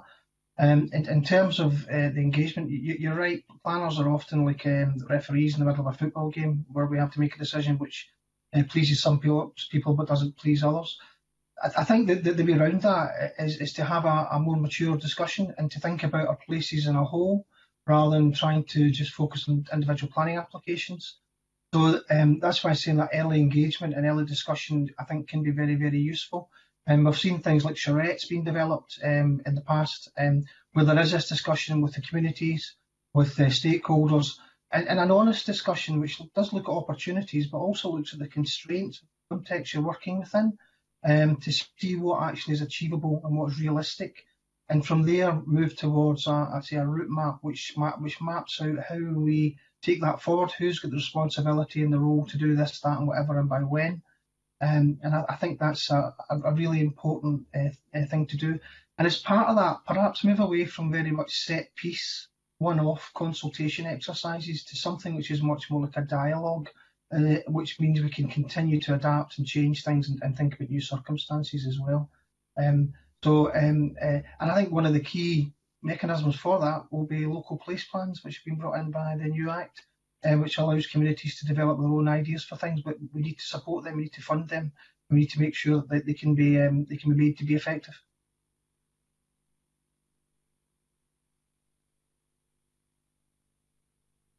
You. I, I don't know if anyone else wants to comment about the building regulations and whether they're fit for purpose.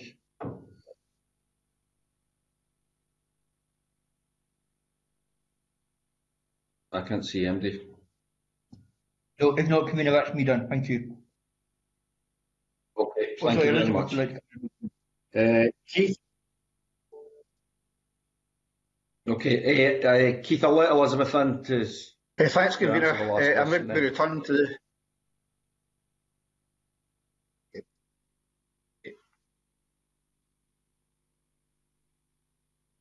There's a terrible delay today.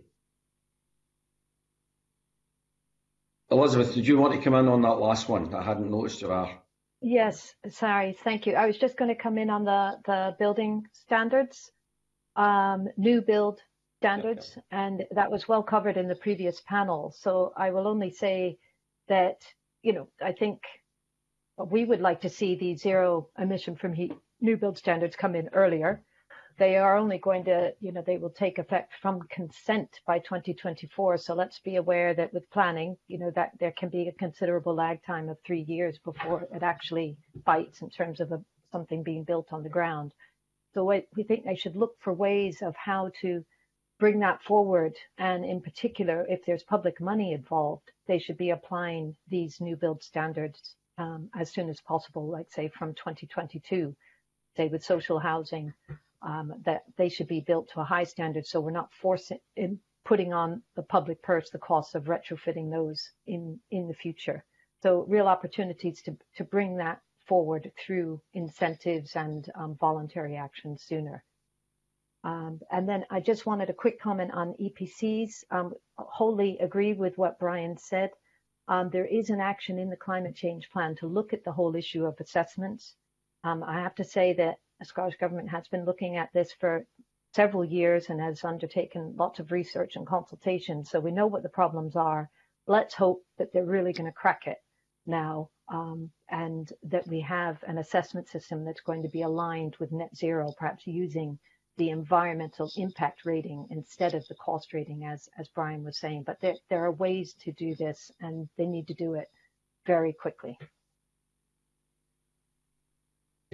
Thank you very much for that. Sorry about that, Keith. If you want to come in now.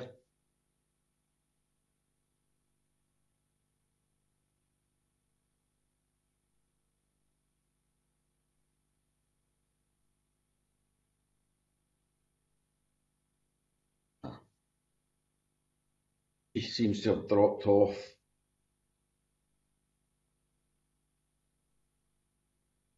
Can I suggest then that we move on to Andy and then we'll go back to Keith. Andy? Thank you very much indeed, um, Convener. Um, could I follow up a point from Elizabeth Leighton? You, you talked about the area-based schemes and how successful they have been, and this committee has uh, indeed seen much of that success. And you say that they're now being rolled out to the private sector in some places. What lessons can we learn from that uh, approach in terms of the pace of delivery we need and the need to go beyond just the public and social housing sectors? The, the, the area-based scheme themselves aren't being rolled out to the private sector, but there are some examples of uh, local authorities. For example, Midlothian is partnered with Vattenfall for delivering low-carbon heating um, schemes in in their area, and we think that there that could be an interesting model for how um, a not not-for-profit schemes could be developed with with local authority expertise and partnership. So extending their experience from the area-based schemes more widely as we need wider take-up in um, the private sector. Um, so, so we think that's that's a way that could be we could be looking at providing affordable heat um, through energy generation, but also in dealing with the retrofit of, of properties. And the Midlothian scheme, is that with private housing, social housing, a mix? It is with um, private housing, as I understand, but their ambitions, this is a, a multi-year, I think a 10-year program as such, but I could, I could investigate that and write back to you on that point. That'd be helpful, thank you. Um, and, and Craig McLaren, uh, National Planning Framework 4 is currently um, under development.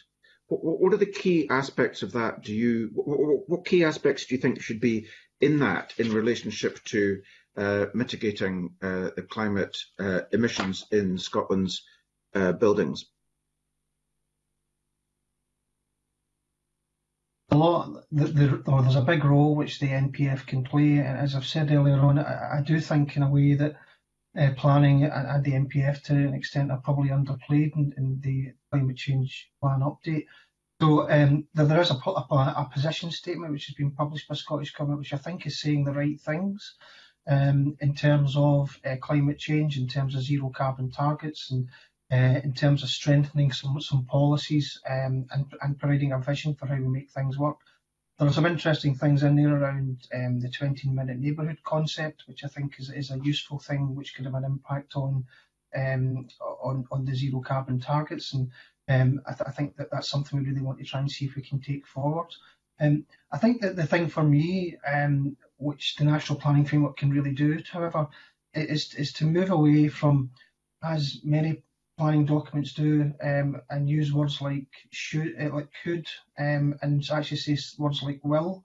I think there's a need for this stronger um, sort of policy context to try and make sure things happen because the NPF will hopefully, if it's used in the right way, change the behaviours we need, uh, change the models. Um, I, I, do think there's a need for us to look at how we can um, lever in change in terms of the, the models of um, developers, uh, house builders, uh, and, and, others, because they, they need to think about one what their what their housing unit looks like and what it can do. Uh, and as I've said earlier, the, the neighbourhood it sits within, but also where it's located and how it links with public transport. So I would like to see the um, the national planning framework do that. The, the, other really important thing for me in the national planning framework, two things I suppose. Uh, one that um, I think we need to think a bit more of a, of a, national document which is more influential than it perhaps is at the moment. And, and I think as part of that, my, second point is that there's a real need for it to be um, to be funded and for the ambitions of the national planning framework to align with the resources which the Scottish Government use, such as infrastructure investment plan. Um, if, you, if you look across the water to Ireland, the national planning framework there is, is something which was launched by the Taoiseach. It's, it's got cabinet endorsement. It's seen as a corporate document in managing how they do things. And linked to it is a 10-year capital investment programme. And I think that's the type of ambitions we should be looking towards, along with that strong policy context. Thank you. Uh, you mentioned a 10-year investment programme. Um, obviously, the government's got its climate change plan. We've just had the update has an energy strategy, it's got an infrastructure strategy. I think Elizabeth Leighton, you mentioned the fact that it's welcome that the sort of fuel poverty and energy efficiency bits inside government are now working much more closely together. Is there sufficient alignment between the infrastructure plan, climate change plan, national planning framework, energy strategy, in your view, um, or are there uh, uh, uh, inconsistencies uh, potentially between them? Is that to me? I'll start with you, Craig. Yes. Sorry, sorry, I wasn't quite sure. Um, I, I, think we've seen a, um, a growing convergence. Um, definitely, I think things are starting to to get better that way. Um, I, I, still think um, there's a there's a need for um, some more joining up on things, and I think the, the, the, key fact is in this there's going to have to be some hard decisions to be made. if, if we're going to change how we do things, we need to change how we work and how we approach it. Um, and for me, I think some of the other strategies need to start thinking along the lines of what we think the planning system should look like as well. So we, need to move away from this idea of almost opportunistic approaches to and deal making approaches, which are individualised, to, to, a much more strategic, uh, planned approach, which is all about not about competition, dealing with competition, but which is actually much more about um, how we work in the, in the, the broader public interest, which is part of the planning system is and that's why I see the NPF as being the place which coordinates that um, and brings and integrates all these different things together. Um, uh, and I still think there's there's a bit of work to be done on that, but I know uh, people in Scottish Government are trying to make that work. Elizabeth, do you have any observations? Um, yes, you mentioned about the the merging of the programs, um, which between on housing and energy and that has been we think that's definitely been a positive development and should be reflected in the delivery of the programs. Um, not just doing insulation but but installing low carbon heat as well. Uh, and and we think that the forthcoming heat in buildings strategy hopefully will reveal that align alignment with other government plans. Um, it is unfortunate that that has not been published in time for the committee to look at that alongside the climate change plan because that is where hopefully the detail will be that will give confidence that that the ambitions that they have set out will be met.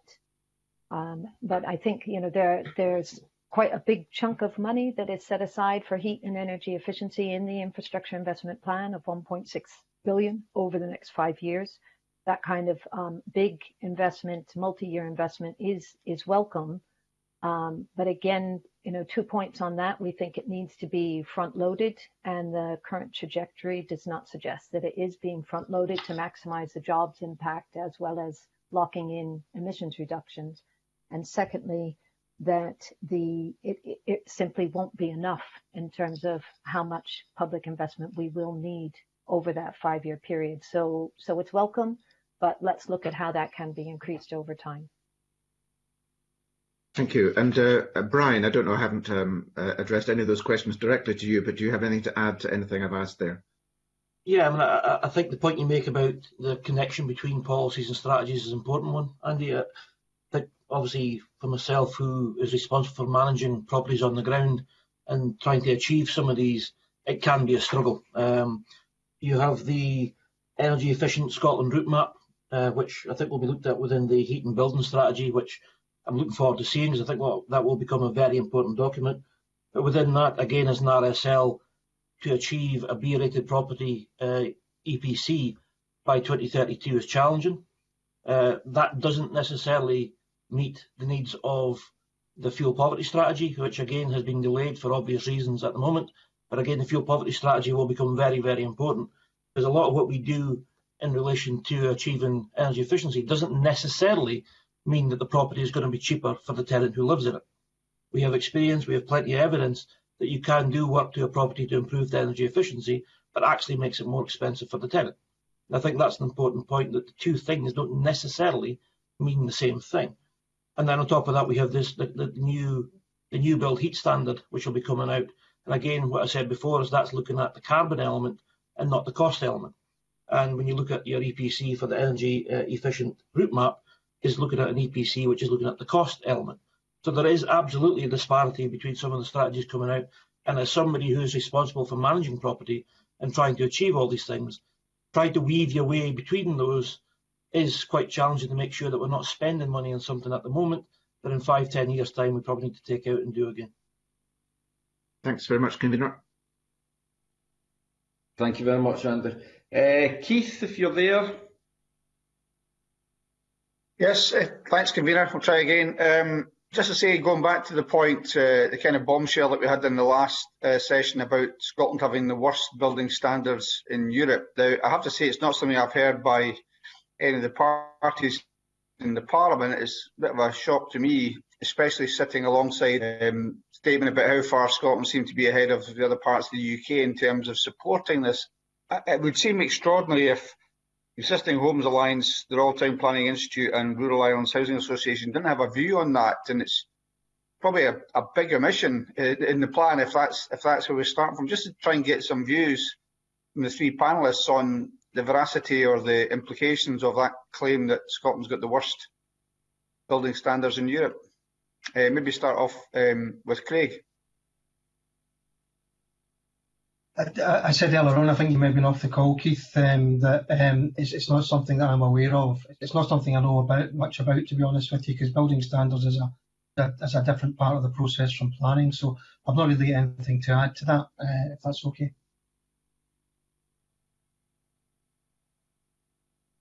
Okay.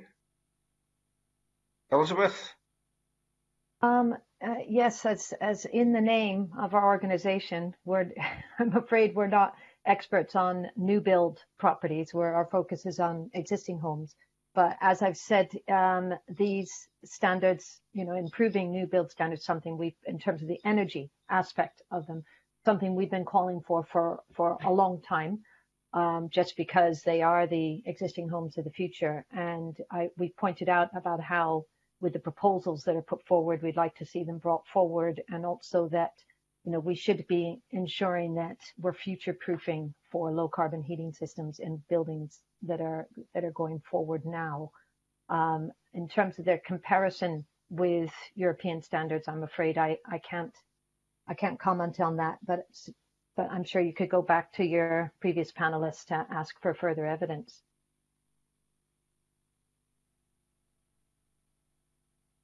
Brian, you're my last hope.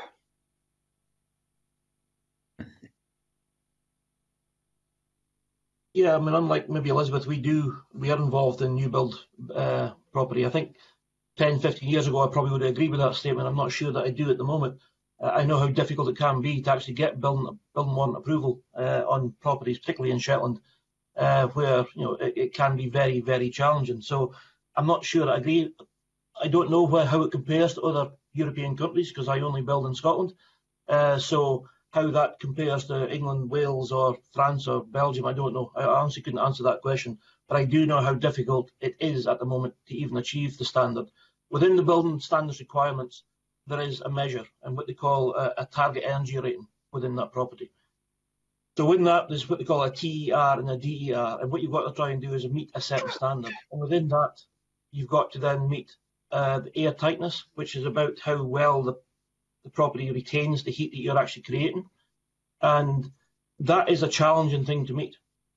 Uh, I mean, we, we, have the level of insulation we now need to install in properties in, in, that we are building new build to achieve that target energy rating is very challenging.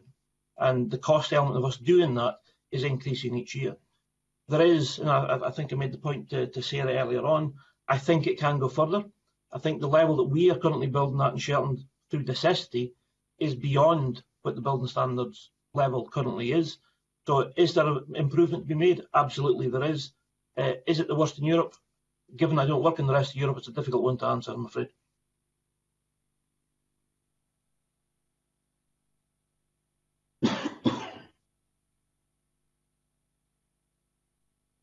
Keith.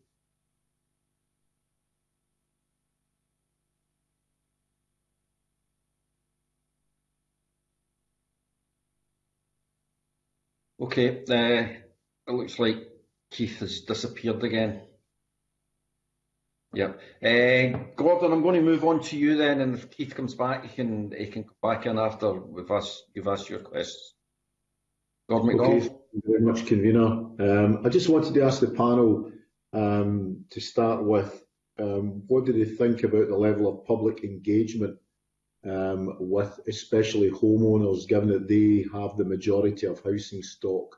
Do you think they're aware that they need to ramp up the level of insulation and that in the next few years they're going to have to seriously look at replacing their low carbon heating system uh, and if not, what should be happening in order to raise that awareness? Elizabeth, do you want to come in first?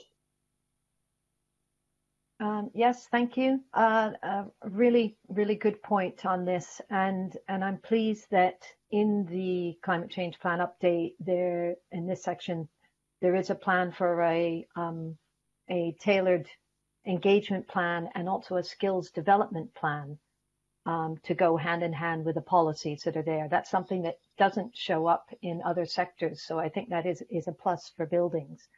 Um, something that we need sooner rather than later. You know, for example, this uh, uh, cashback scheme that's now available to owner occupiers has not really been accompanied by a wide engagement plan. And I've had conversations with you know the the likes of my members as well as friends and family and nobody seems to know about it you know such a, a fantastic offer that's being given and so we need to have that engagement going hand in hand with any um, promotional uh, schemes of incentives or loans that are going forward and i would argue it should be linked to forthcoming standards because if you're going to use the lever of standards or the foreshadow period of standards coming into force, then that's the best way to drive up uptake, voluntary uptake of these schemes. So very much welcome that there's going to be a plan. Would like it to come faster where it can, and let's learn from the experience that we have from Home Energy Scotland and the vast network of partners that we have working in communities from Climate Challenge Fund projects to development trusts and others who have undertaken energy efficiency projects at a local level. And I think that that was something mentioned in the previous panel, how essential it is to have that trusted neighbor, trusted community um, service that is providing that advice as well as linked to the National Home Energy Scotland advice. Brian, have you got any views? Yeah, I mean, I think I would agree that the public engagement is critical. Um, I think the difficulty we've got with this topic is every house is nearly different, and how you solve and deal with every house is different. Uh, and we need to be careful that we're not putting out information. Uh, I'll use heat pumps as an example to install heat pumps in a property that's not suitable for that heat pump, because it could end up costing that tenant a lot more money if it's not suitable. Think the other thing to bear in mind is what we're trying to achieve here, which is about carbon reduction. And I made the point right at the beginning about the uh, to strengthen the, the electrical grid to cope with that. So if we're moving people off the gas network onto an electrical network, and there's a big uptake in that because of the push that we're doing in terms of engagement, can the grid actually cope with it? And it's trying to think, well, how do we achieve that? And pushing people down, there's a lot of talk in this document about heat pumps, and heat pumps have a place, absolutely have a place. But as do storage heaters. Um, there was somebody earlier, and one of your earlier witnesses, saying that they would rather see heat pumps rather than storage heaters. I go to the contrary to that. I think to me, storage heaters can actually form part of that network strengthening. They can form and be a battery for that energy storage as our grid becomes more renewable connected. Heat pumps can't do that. Storage heaters have absolutely have a place and can actually help and speed up the ability to uh, electrify the grid. Uh, heat pumps also need a lot more maintenance. So I think again there was talk about embodied carbon earlier on. So heat pumps through their nature, require to be maintained on a very regular basis. They also contain refrigerant gas, which isn't necessarily uh, energy uh, carbon reduction. So I think we need to be careful not to push down people and, and put out the story in terms of that pub public engagement that heat pumps is the solution. Every property is different. We need to look at them individually. And I think there's a piece of work to be done in terms of making sure that, again, it comes back to the question earlier on about local authorities have the resource and the power that actually put in place proper guidance and proper advice uh, in their own local authority areas, depending on the hard to treat properties and the properties that's in that area. Okay. And, and Craig, um, reading through your evidence um, regarding existing housing stock, you have uh, said something along the lines of uh, you need to protect the rights of existing residents. Um, so, I mean, how do we do the public engagement, improve, you know, highlight to people the necessity of putting in insulation and electric heating if that's the way forward, but at the same time protecting the rights of existing residents when we want to hit yeah. these climate change targets? It's a, it's a good question. Um, uh, I think, as uh, Elizabeth and Brian have said, I think for the specific households and some of the programmes which are there, I, I don't think there's a there's a, a, very high level of awareness. Um, again, I've talked to friends and family about it, and they're not really aware of it. And I think I'm glad there's going to be something done on that. I think we need to do that, um, particularly if there's um, resources available to help uh, implement that. I, I, I, do think that there's also a need for a, a broader discussion more generally um, at a national and at local levels on uh, how we live our lives. I said earlier on that um, this this all means we need to change how, how we do things, uh, what we do and how we do it. Um, so I, I, think there's and I think there are opportunities to, to, to do that, um, to think about how we need to change our behaviours. And that's not just what we do to our house; it's how we, how we if we use our car, um, uh, how we access, how we go shopping. There's lots of different things like that we need to have a debate about. At a national level, um, I would say this, but I think there's an opportunity to do that through the discussion on the national planning framework, which can give us some some real um, some real time um, and space to, to reflect and to, to look at um, what the implications are what, uh, and what we need to do. And as you'll know, the national, the draft national planning framework will be laid before Parliament in September. So there's a real uh, opportunity to have that discussion. And I think at a local level, um, we need to think about that as well. And I've mentioned earlier on, uh, uh as part of what questions earlier, that um, there are opportunities to have that early engagement and start thinking about just how our places work for us, um, how they should work and what we need to do and what we need to change. And that should be a, a very inclusive um, uh, and honest debate about what it means for people and what compromises we might have to make, um, but also make sure we, we, we have an ambitious approach to it so we can uh, actually reach these targets. And uh, there was another part of your evidence I wanted to ask you about, uh, and you've just said we need to look at how places work for us for the, the, the, the greater community. And one of the points you raised was policy and taxation should also prioritise building reuse and refurbishment over demolition and rebuild, where life cycle emissions would be lower as a result. Can you just expand on that a wee bit? Yeah, it was mentioned. One, taxation would you like to see changed? I think one of the things that was mentioned earlier on um, was uh, was VAT um, and the fact that um, it applies uh, to um, renewal rather than actually new build, and there's a there's a need to perhaps equalise that to, to have a level playing field.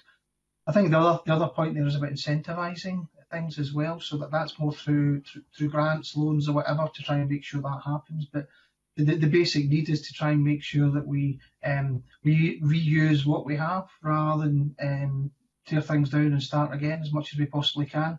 But there's also things in there I think about how we design our future housing and our future communities to, to try and make sure that they're adaptable. Um, so and, and the, the, there's less need for them to have to be um, to change radically if there's a need for a change in what they're used for and how they're, how they're actually used. So there's a bit of taxation in it, but there's also a bit about policy and practice as well. Okay, thanks very much, Convener.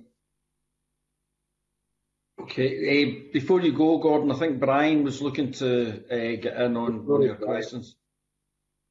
Yeah, it was a point on the protecting the rights of the existing tenants. I think that's a, I think that's a really important point. Um, I think it's important when we do the public engagement, whatever that form that takes, is that we make sure that we give them all the information that they need. Because you know there is a risk that we just go down the route of saying this is important in terms of that carbon saving, but the reality is, if you move somebody from a gas network at the moment to an electrical network, whatever the form that takes, you'll be effectively doubling the cost of running that property. So we've done a lot of work in terms of evidence on that, and at the moment, if you go to just a heat pump property uh, from gas, it's going to cost that person an extra seven to eight hundred pound a year to do that. So there is a risk of moving somebody from gas. It might well be in terms of that carbon saving, but in terms of the number of people that are then moving into fuel poverty, could be could be substantial. Yeah, that's a very good point. Thanks very much, Brian. Okay, thank you, Brian. Thank you, Gordon. Uh, Alec, Alexander. Oh, sorry, Elizabeth. Alexander. Thank you, thank you, convener. Uh, lots have been covered in this session as well that are very pertinent, but can I maybe go back to asking Craig with reference to the permitted development rights and the changes that could be affected to ensure that we have energy efficiency uh, and uh, the heat installations, etc. What are your views about that uh, happening within uh, conservation areas?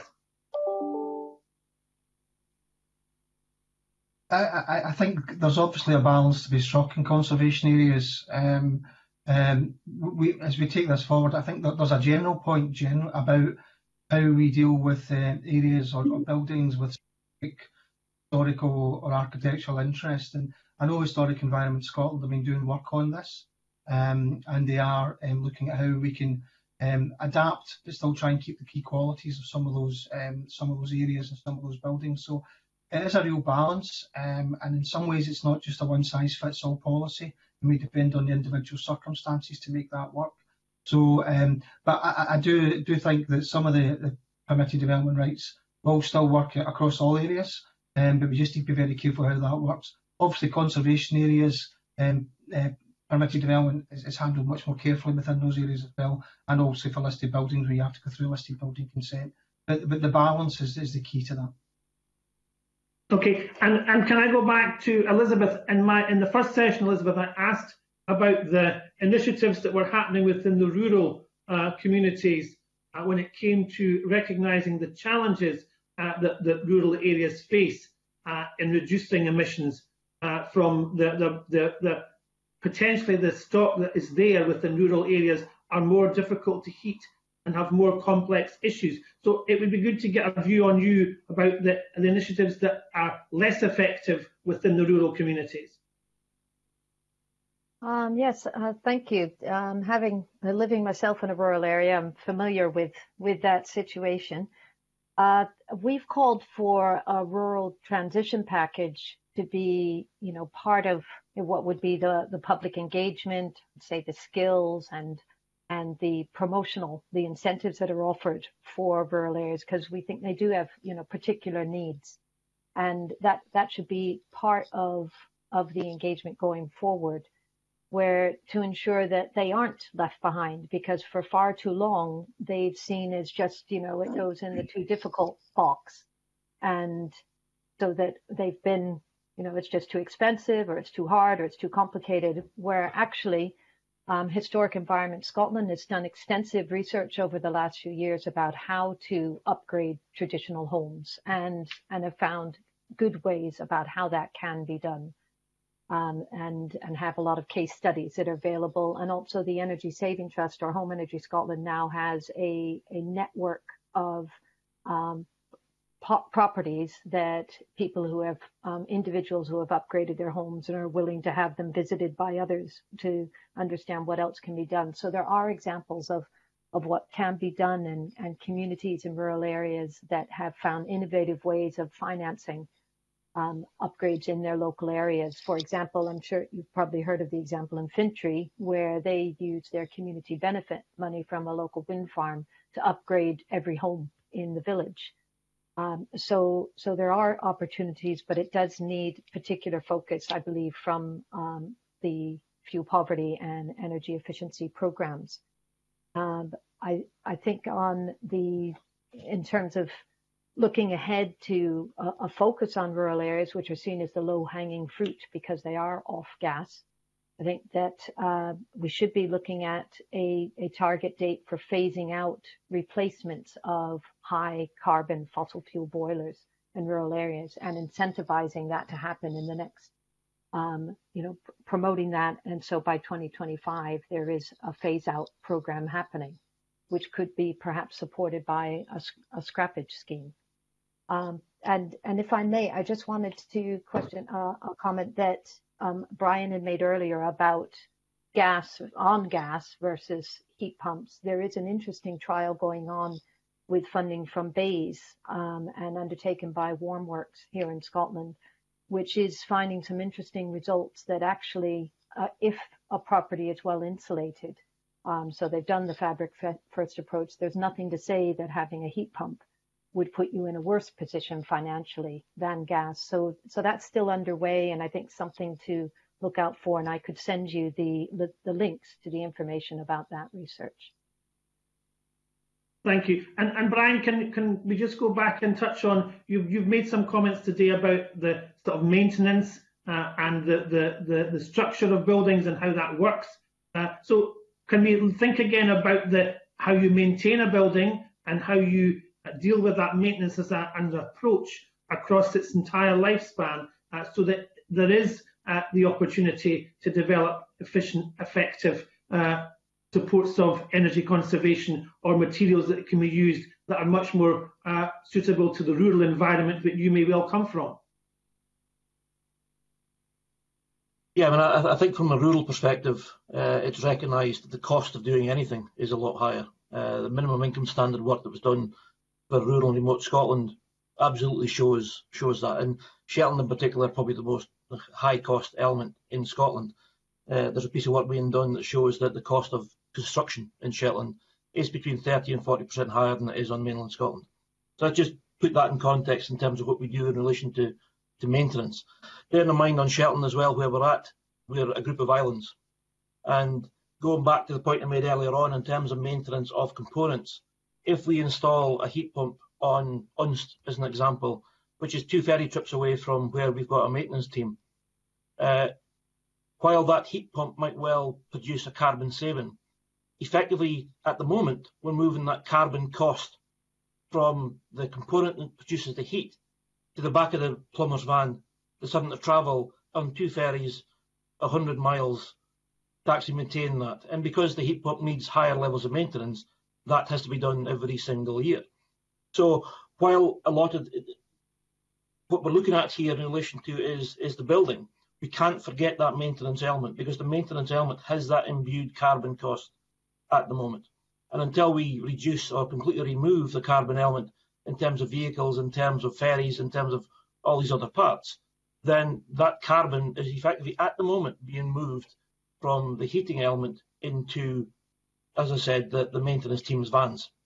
Uh, existing properties is the challenge, Alexander. What we've got to try and do is make sure we can bring the existing properties that we have up to the level we're now building the new stock. And that's the challenging part.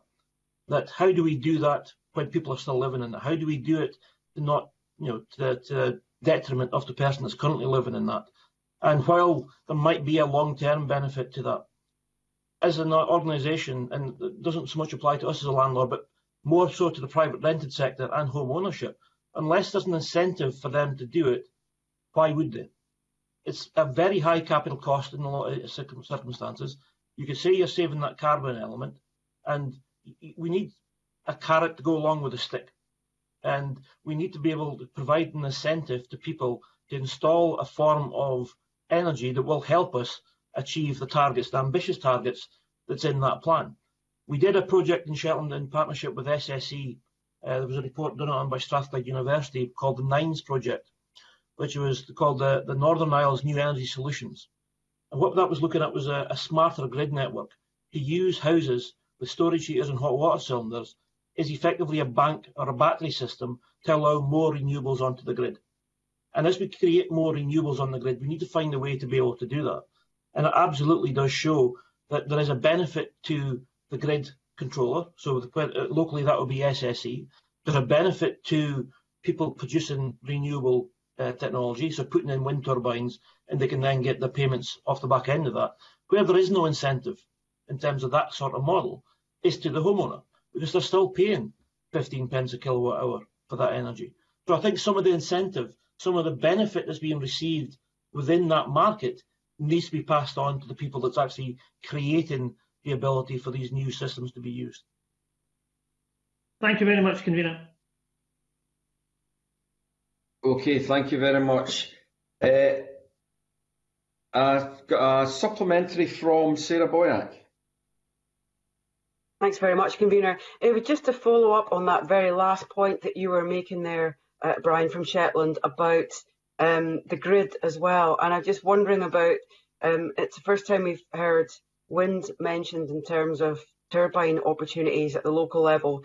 Um, nobody's mentioned solar today, which could be solar heat or electricity, um, which could presumably be an issue in terms of individual housing retrofitting, or it could be the wider forward planning approach that Craig McLaren was talking about earlier, um, and the community solar issue mentioned by um, Elizabeth. And just wondering if either of the panelists have any comment on that. Is there a reason why solar is not part of the mix here? Thanks.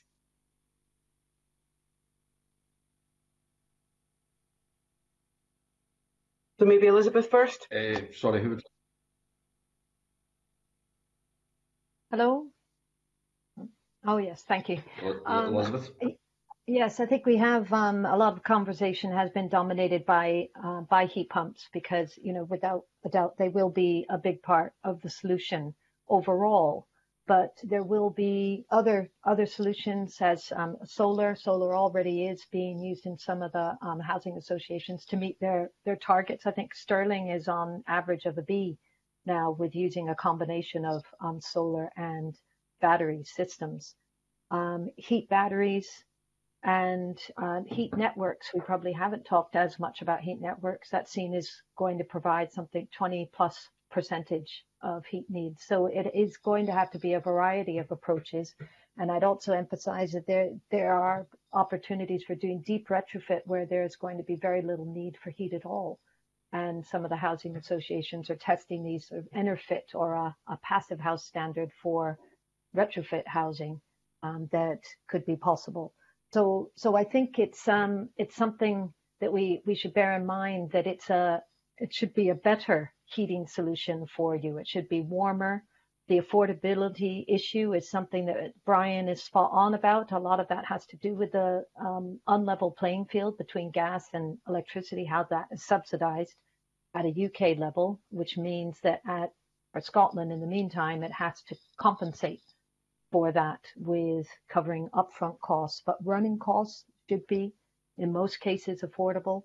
Um, and it and it should be a better a better heating solution for you. So it's something aspirational that people can look forward to, like as electric vehicles are seen now as something aspirational. So it's a better way of living. It's healthier, a healthier home um, that will be part of that engagement strategy as long as it's it's not just raising awareness but it's giving people support and that hand holding they'll need to take them through from thinking about it through to installing it and to using it because we know it's only by understanding how best to use it you're going to get the maximum benefit in terms of carbon and savings and comfort. Thank you. And Craig, have you got a view on that one? I, I, certainly think solar should be part of the mix. I, I think, as you've, you've said, Sarah, the, um, um, most of the uh, discussion around this, certainly from planning perspectives around wind and some of the divided opinions on where we should be siting wind turbines and, and wind farms. But solar certainly has a role to play, and planning can help facilitate that. Um, I think the national planning framework can promote that, and local development plans can have a um, have a, a, go at identifying those particular sites where they would be appropriately placed as well. And also think at the local level, there's a role again for permitted development rights, looking at um, how we can put those uh, more localised uh, solar solutions in, on our houses, and also in how we uh, we work with our, our, different elements of street furniture. Like you see solar being used for things like parking meters, for signage and things like that. We're also making sure that um, the, uh, the, the permitted the, the, things like that in the right circumstances are, are permitted, uh, so they can be made to work effectively. Thanks. Okay. Thanks, convener. Thank you very much. Right, thank you very much. Uh, can I thank everybody for their questions today? Uh, want to thank you for identifying the key, some key issues. We've got another uh, evidence session, one more evidence session with COSLA on the 17th of February, where we'll be discussing the local government's role in reducing emissions, which was brought up a number of times today. Our findings will be in the form of a letter to the coordinating parliamentary committee. Second. That concludes the public part of this meeting and we will resume the meeting in private on Microsoft Teams. Please, for members, please accept the clerk's meeting request for the private discussion, which will be sent shortly. We'll now have a five minute break and as always, you can exit the meeting by clicking on the red telephone icon. Thanks again to the panel. Thank you.